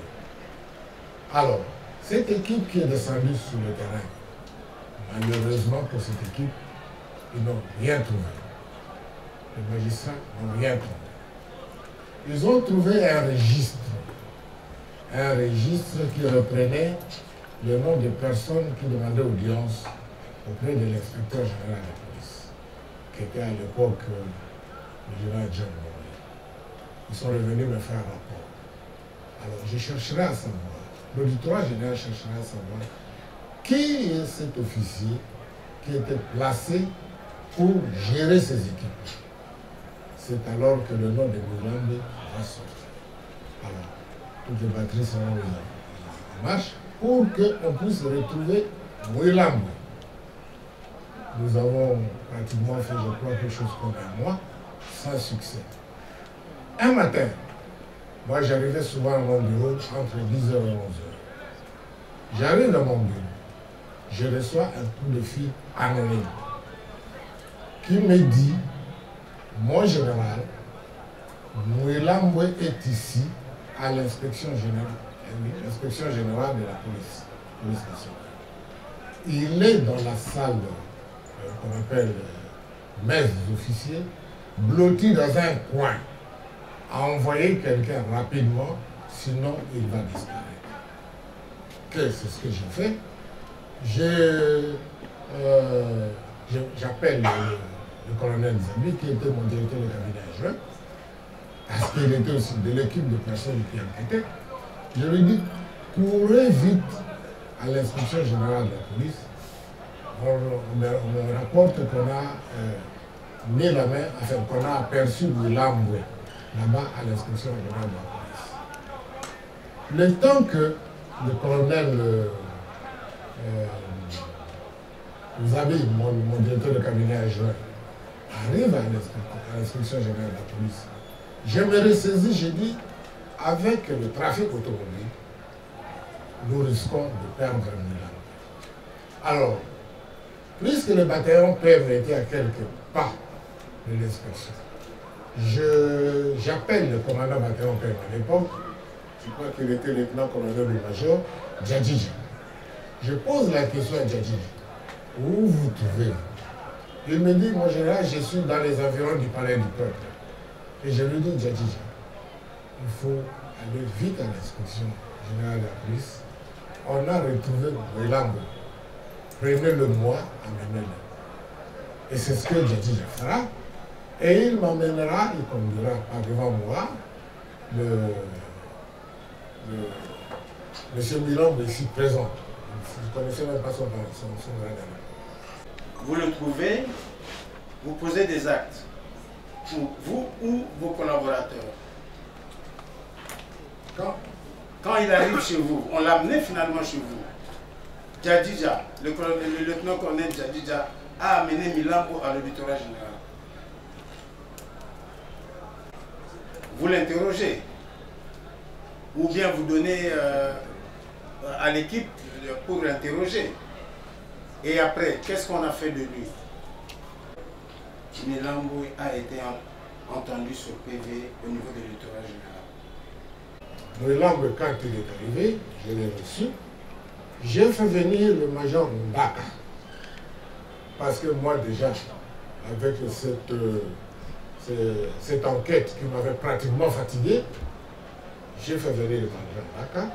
Je lui ai dit, prenez le major Milambo, je crois qu'il était major à cette époque, lui-même il peut rectifier.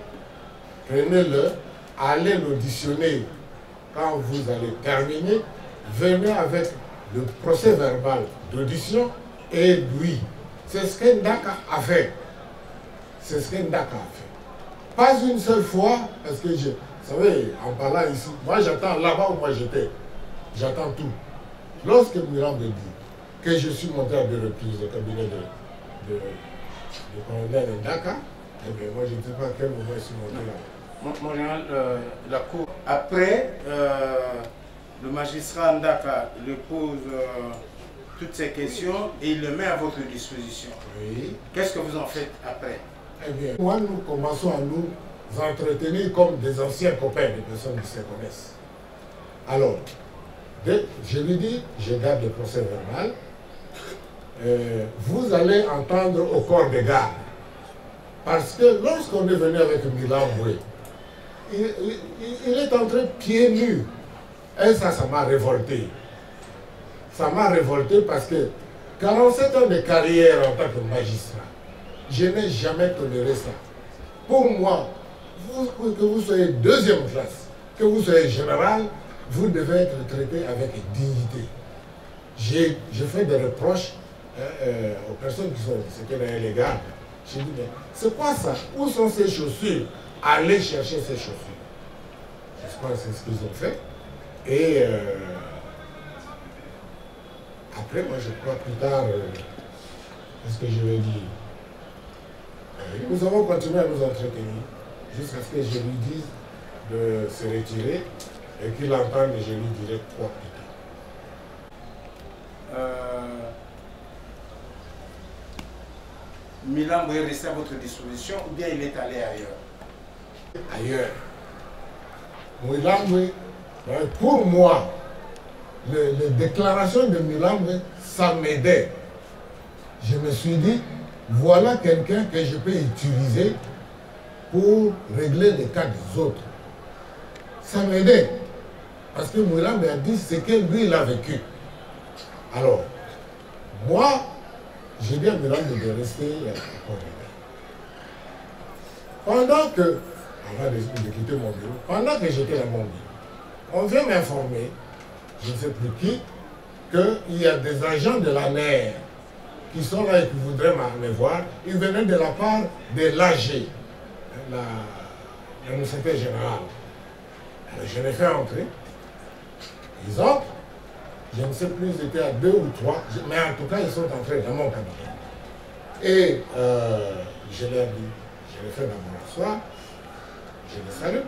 Je dis, monsieur, qu'est-ce que je peux faire pour vous Non, nous venons de la part de l'AG, ils nous envoient pour venir chercher langues. Dès que j'ai entendu ça, j'ai pris mon téléphone, j'ai appelé l'AG et je lui ai parlé en Swahili. Je lui ai demandé si c'est vrai qu'il avait envoyé des gens chez moi. Ces gens ont décliné leur identité. L'AG me dit oui, envoyez-le moi, je vais aussi l'auditionner. Quand je vais terminer avec lui, je vous le retourne. Le l'homme est parti, il est parti.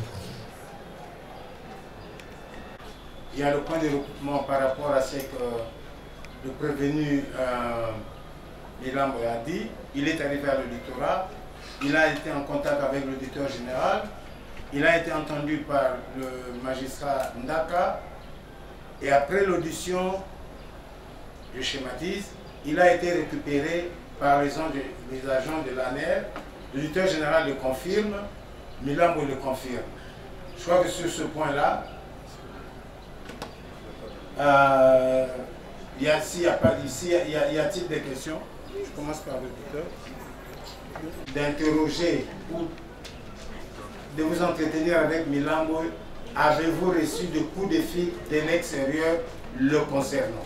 Oui, l'unique coup de fil que j'ai reçu sur mon téléphone, si je l'avais, j'allais vous le remettre. Mais depuis, vous voyez, ça fait 10 ans, les enfants à la maison, ils abîment leur téléphone et je leur distribue mes téléphones euh, que je n'utilise plus.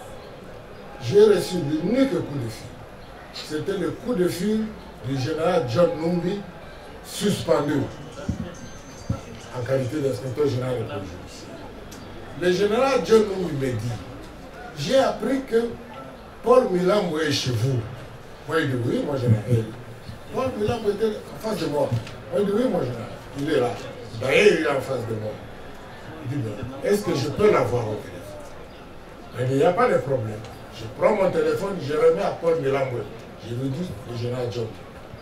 Avec le général John Numbi, ils échangent mais en une dialecte que moi je ne comprenais pas. Ils ont échangé pendant, je crois, 5 ou 10 minutes. Mon général, nous sommes euh, au mois d'avril 2011 quand Milan se présente à l'inspection générale de la police et de là il sera acheminé à l'auditorat général. Mais au moment où Milan est acheminé à l'auditorat général, il est déjà renvoyé devant la cour militaire de la Gombe avec d'autres copains, notamment Moukala et les autres. Parce qu'en principe, lorsqu'il arrive à l'auditorat général, il n'y avait qu'une seule option. Lui notifier la décision de renvoi et le mettre à la disposition de la cour militaire de, de Kinshasa, de la cour militaire de Kinshasa Gombe, parce que le ministère public que vous étiez était irrévocablement dessaisi. La question qu'on peut se poser, c'est celle de savoir pourquoi, au lieu d'être mis à la notifier, au lieu qu'on lui notifie la décision de renvoi et qu'on le mette à la disposition de la cour militaire de la Gombe, c'est au niveau de l'ANR qui se retrouve. Je crois que c'est ça la, grande en ce qui le concerne. Parce qu'il était déjà renvoyé devant la cour militaire de la Gombe, trois ou quatre mois avant, au moment où il se présente à l'inspection générale. C'est ça la préoccupation. Que, pourquoi on ne le met pas à la disposition de la cour militaire de la Gombe, mais plutôt on l'envoie, on le met à la disposition de l'ANR.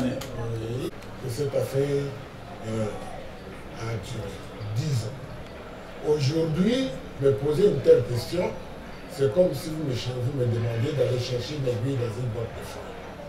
Je ne peux pas, moi, à cette heure-ci, je suis devant vous, dire qu'il y avait une décision de renvoi renvoyant Milambwe devant la cour militaire de la Gombe. Parce que, justement, nous ne savions pas qu'est-ce qu'il faut. S'il y avait un Milambwe, d'abord, nous ne savions pas s'il y avait un Milambwe. Et s'il y avait un Milambwe, qu'est-ce qu'on reprochait à Milambwe Qu'est-ce qu'on reprochait à Milambwe Voilà. Je ne sais pas s'il y a eu une décision de renvoi à cette époque-là. Il y avait effectivement une décision de renvoi. On peut vous le confirmer. Ah, oui, merci. D'avoir la présence de M. l'auditeur général il a bien voulu répondre, faire preuve du civisme judiciaire. Il y a une question qui hante les esprits de tout le monde qui est ici. Monsieur l'auditeur général est sur place. Monsieur l'auditeur général, est-ce que pendant que Milambo était à l'office de l'auditorat général, le sénateur à vie vous a-t-il appelé? Si... Trouvait dans mon bureau, je l'ai dit ici tout à l'heure, je n'ai reçu qu'un seul coup de fil, celui du général Jono. Est-ce que le sénateur à vie, Joseph Kabila, a appelé l'auditeur général Je vous dis non. Pourquoi je dis non? Parce que justement, tout contact entre moi, contrairement à mes prédécesseurs, je vais parler particulièrement du général Ikoulia, qui voyait le président pratiquement tout, tout le matin, eh bien, entre l'auditeur général que j'étais et la présidente de la République, le président de la République, si vous voulez bien, je devais passer par la maison militaire. À l'époque, la maison militaire était dirigée par le colonel venu le général d'armée aujourd'hui, le colonel Mbala. Et même des missions que j'effectuais lorsque je revenais, c'est un malade, un malade de Donc, dire que moi j'ai reçu, je pourrais toutefois vous dire que lors de mon premier séjour à Lubumbashi, à l'occasion d'un de mes séjours à Lubumbashi, le tout premier d'ailleurs, j'étais envoyé pour aller mener une enquête sur l'affaire Gédéon. Je me trouvais dans ma chambre d'hôtel, je crois que c'était un après-midi, le président de la République m'appelle et il me pose la question suivante.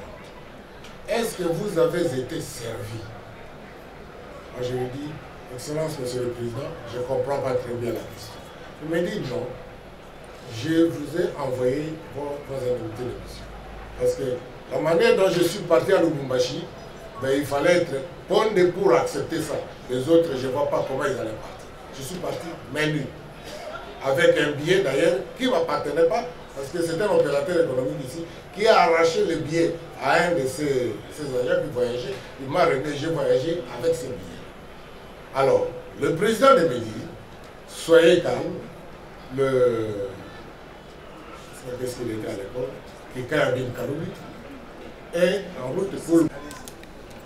L'auditeur général honoraire revient sur le fait que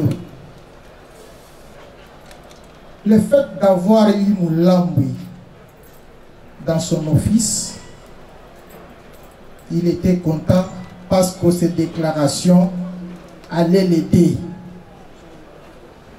Ma question est de savoir en quoi est-ce que les déclarations de Milamboué lui étaient nécessaires et en quoi est-ce que les déclarations de Milamboué l'ont aidé dans le cadre de la procédure qui a amené la fixation de cette affaire devant vous. Euh, Monsieur le Président,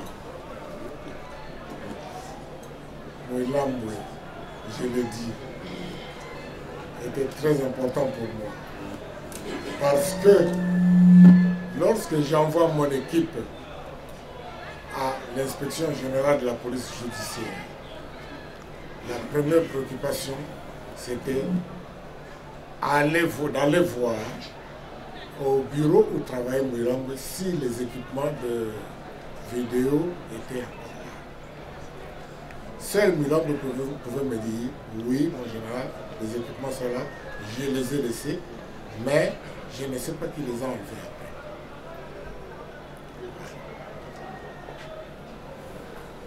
Question.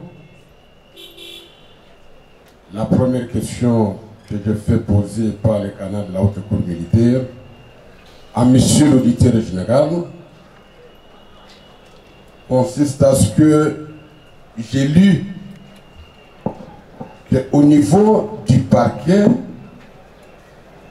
il y a ce que l'on appelle l'ouverture de la phase préparatoire au procès pénal.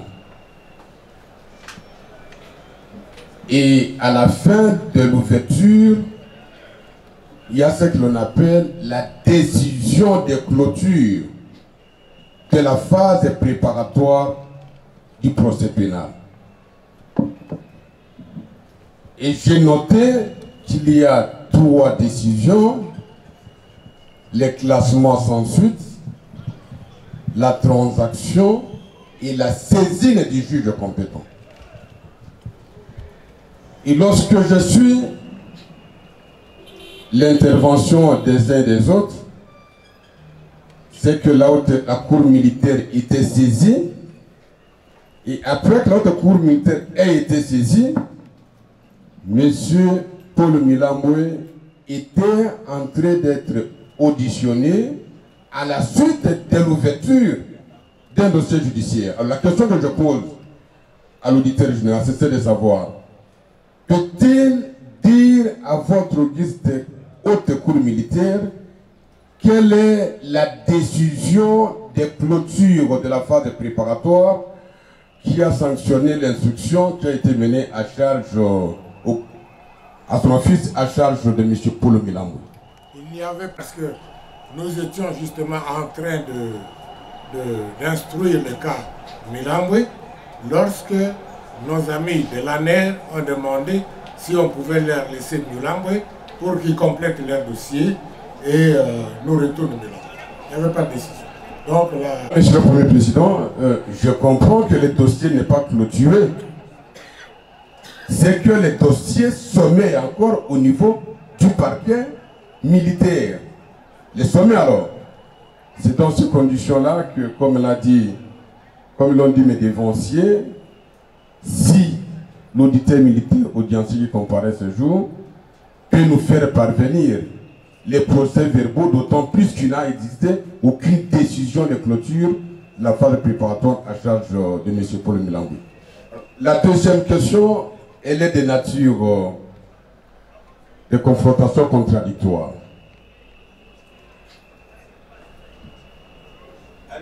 Monsieur l'auditeur général a dit tout à l'heure que lorsqu'il s'est trouvé dans son cabinet, il n'avait reçu qu'un seul appel, l'appel qui provenait du général John Numbi.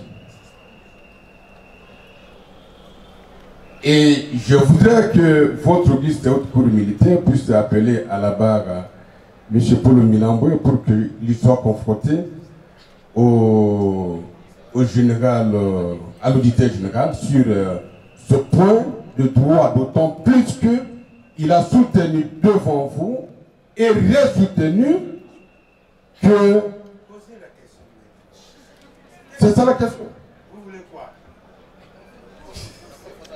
J'ai demandé que M. Paul Milan vienne. Vous voulez qu'il vienne Oui. Ah, monsieur la parole. Moi, je ne suis pas mécanicien. Tenu devant la haute cour militaire que ce jour-là, vous avez causé à travers le téléphone de l'auditeur général avec deux personnes. D'abord avec le général John Numbi et ensuite avec le président Joseph Kabila Kabangé, aujourd'hui sénateur à vie. Mais tout à l'heure, la personne qui vous avait donné le téléphone dit n'avoir reçu qu'un seul appel du général John Numbi. Quelle est votre réaction? Réaction est simple. Je voudrais un peu contredire ce que le général Pondé a dit. J'ai bien parlé avec le général Johnny Numbi trois fois dans son téléphone. Et une fois avec le président Kabila au bureau du lieutenant-colonel Ndaka. J'ai dit. Monsieur le Premier Président, a une réaction concrète par rapport à cette affirmation avec force de M. Paul Milambi. Monsieur le Président, je ne sais pas combien de fois je vais répéter ce que j'ai dit tout à l'heure. À moins que l'avocat ici à côté de moi n'ait pas été dans cette salle. Je parlais avec John Numbi. John Numbi a appelé le général Pondé et il voulait savoir si le général, plutôt le, le major euh, était là. Moi j'ai dit oui, Mouilamboué est là en face de moi. Et il m'a demandé s'il pouvait parler avec Mouilamboué. Je peux continuer? Je peux continuer? Oui, oui, continuez. Non, mais parce que je suis en train de parler. euh, Non, non, non, mais non, on non. général, vous vous adressez Non, à non. nous. Non, non, non, Milamboué, reprenez votre place là. Reprenez la place, vous avez... Euh, un seul coup de fil, celui de, de, de John Numbi, qui voulait savoir si Moulambo était là. Maintenant, je crois qu'il y a une, une question qui me vient en tête. Il faut se demander comment le général John Numbi savait que Moulambo était chez moi à l'auditoire. C'est ça la question à laquelle il faut trouver la réponse. Je ne pouvais pas dire non, général Numbi, parce que le colonel, le major Moulambo était en face de moi, et je n'avais qu'à dire oui. Mais comment le général John Numbi savait que Moulambo était est quand même euh, sort de l'ordinaire. Ça veut dire que ce sont des choses que nous n'avons pas connues. Je vous félicite pour ça, Monsieur le Président. Et nous aimerions que quand nous avançons avec nos questions, que, que ce soit des gens qui sont venus derrière des renseignements. Alors, à un certain moment, ça nous dérange. Ça nous dérange. Et nous ne sommes pas venus pour... Maître, c'est moi qui n'ai jamais, je n'ai rien entendu. Posez la question. Monsieur le Président, les questions nous en avons. Permettez-nous de, les poser calmement en toute sérénité. Il a dit qu'il ne sait pas si à cette époque-là, la Cour avait déjà été saisie. Nous lui concédons cette réponse que nous pensons illogique. Illogique. Mais il a traité les, gens de l'ANER comme étant nos amis de l'ANER. Ce sont ses propos. Il a encore dit qu'ils ont une forme de collaboration entre ins- de la collaboration institutionnelle, entre organes institutionnels. Voilà les termes qu'il a employés. Je ne vais pas dans cette logique. Ni dans le cadre des amis entre l'auditorat et l'ANER, encore au moins dans une prétendue collaboration entre les organes. Je vais dans la loi. Je suis dans le décret loi numéro 003-2003 du 11 janvier 2003 portant création de l'Agence nationale des renseignements. Je suis dans son article 20, 21, excusez-moi, 22, 23, 24. Vous allez me permettre, Monsieur le Président, parce que nous sommes là pour ça. Statut judiciaire, chapitre 2. Les agents et fonctionnaires de l'Agence nationale des renseignements ayant les grades inférieurs à celui de l'inspecteur adjoint sont agents de police judiciaire. Les agents et fonctionnaires de l'Agence nationale des renseignements ayant au moins le grade d'inspecteur adjoint sont officiers de police judiciaire à compétence générale, leurs compétences étant sur toute l'étendue du territoire national. Article 23. Les officiers de police judiciaire de l'Agence nationale des renseignements sont, dans l'exercice des fonctions attachées à cette qualité, placés sous les ordres et la surveillance exclusifs de l'administrateur général et accomplissent leur mission de police judiciaire dans le respect des lois et règlements. Le dernier alinéa qui m'intéresse dans l'article 23, ils transmettent immédiatement leurs procès-verbaux à l'administrateur général qui les envoie à l'officier du ministère public près les juridictions civiles ou militaires cas. Monsieur le Président, dans cette disposition ou dans toute cette loi qui crée l'Agence nationale des renseignements, où est-ce que le renseignant du jour trouve l'opération inverse C'est-à-dire prendre un inculpé qui a déjà changé de statut, le renvoyer devant un officier de police judiciaire. Je lis, je lis par rapport à la loi. Où est-ce que le ministère, le, le du jour, trouve le fondement légal de ce que lui avait posé comme acte en son temps? C'est ma première question, Monsieur le Président. Il vous a dit qu'il avait reçu un appel anonyme, l'informant de la présence de Paul Willamwe dans les installations de l'inspection générale. Cet appel anonyme,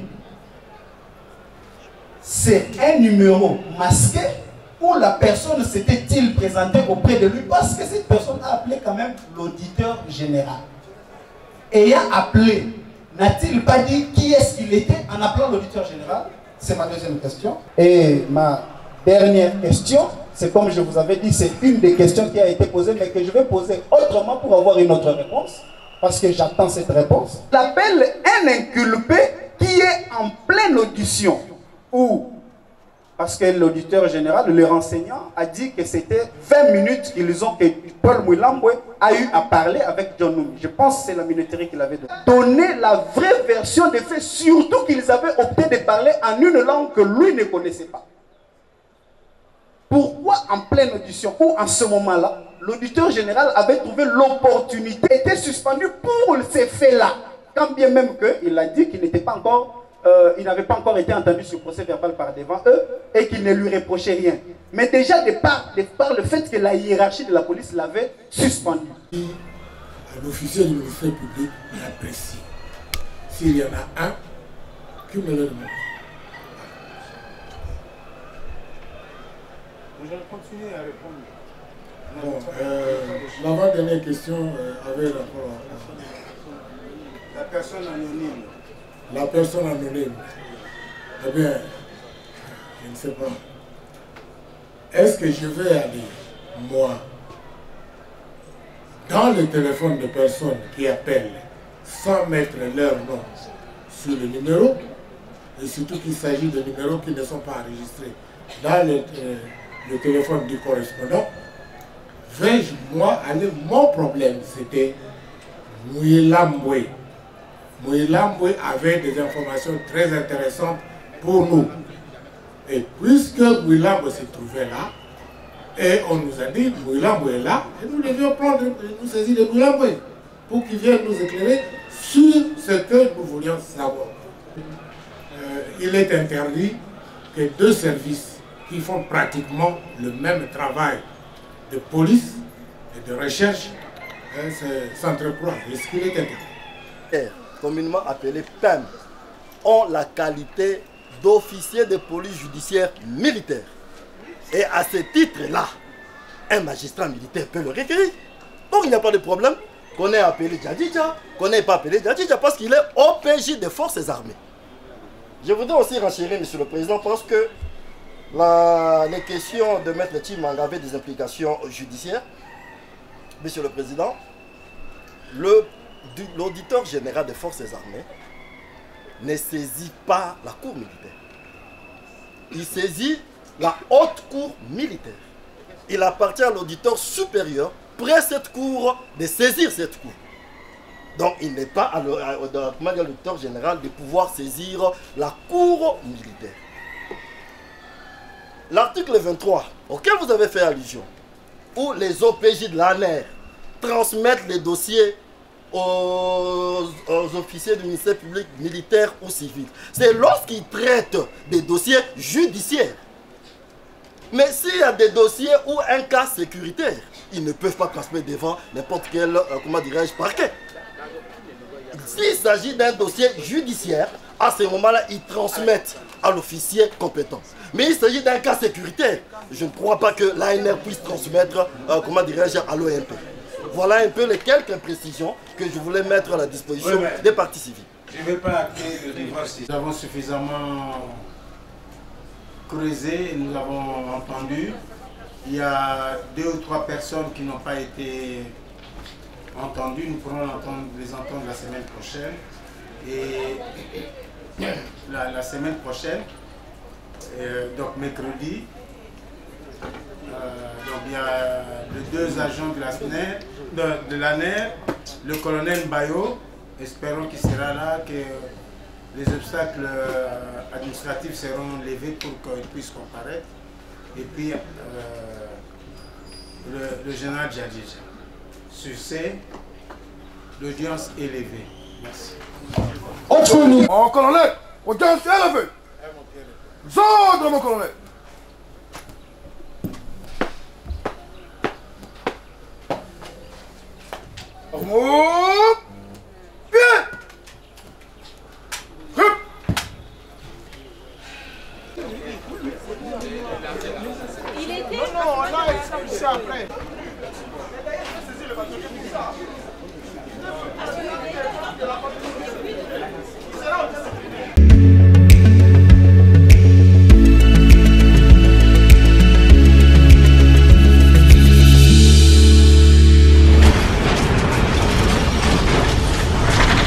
Ma mission TV, le miroir du monde.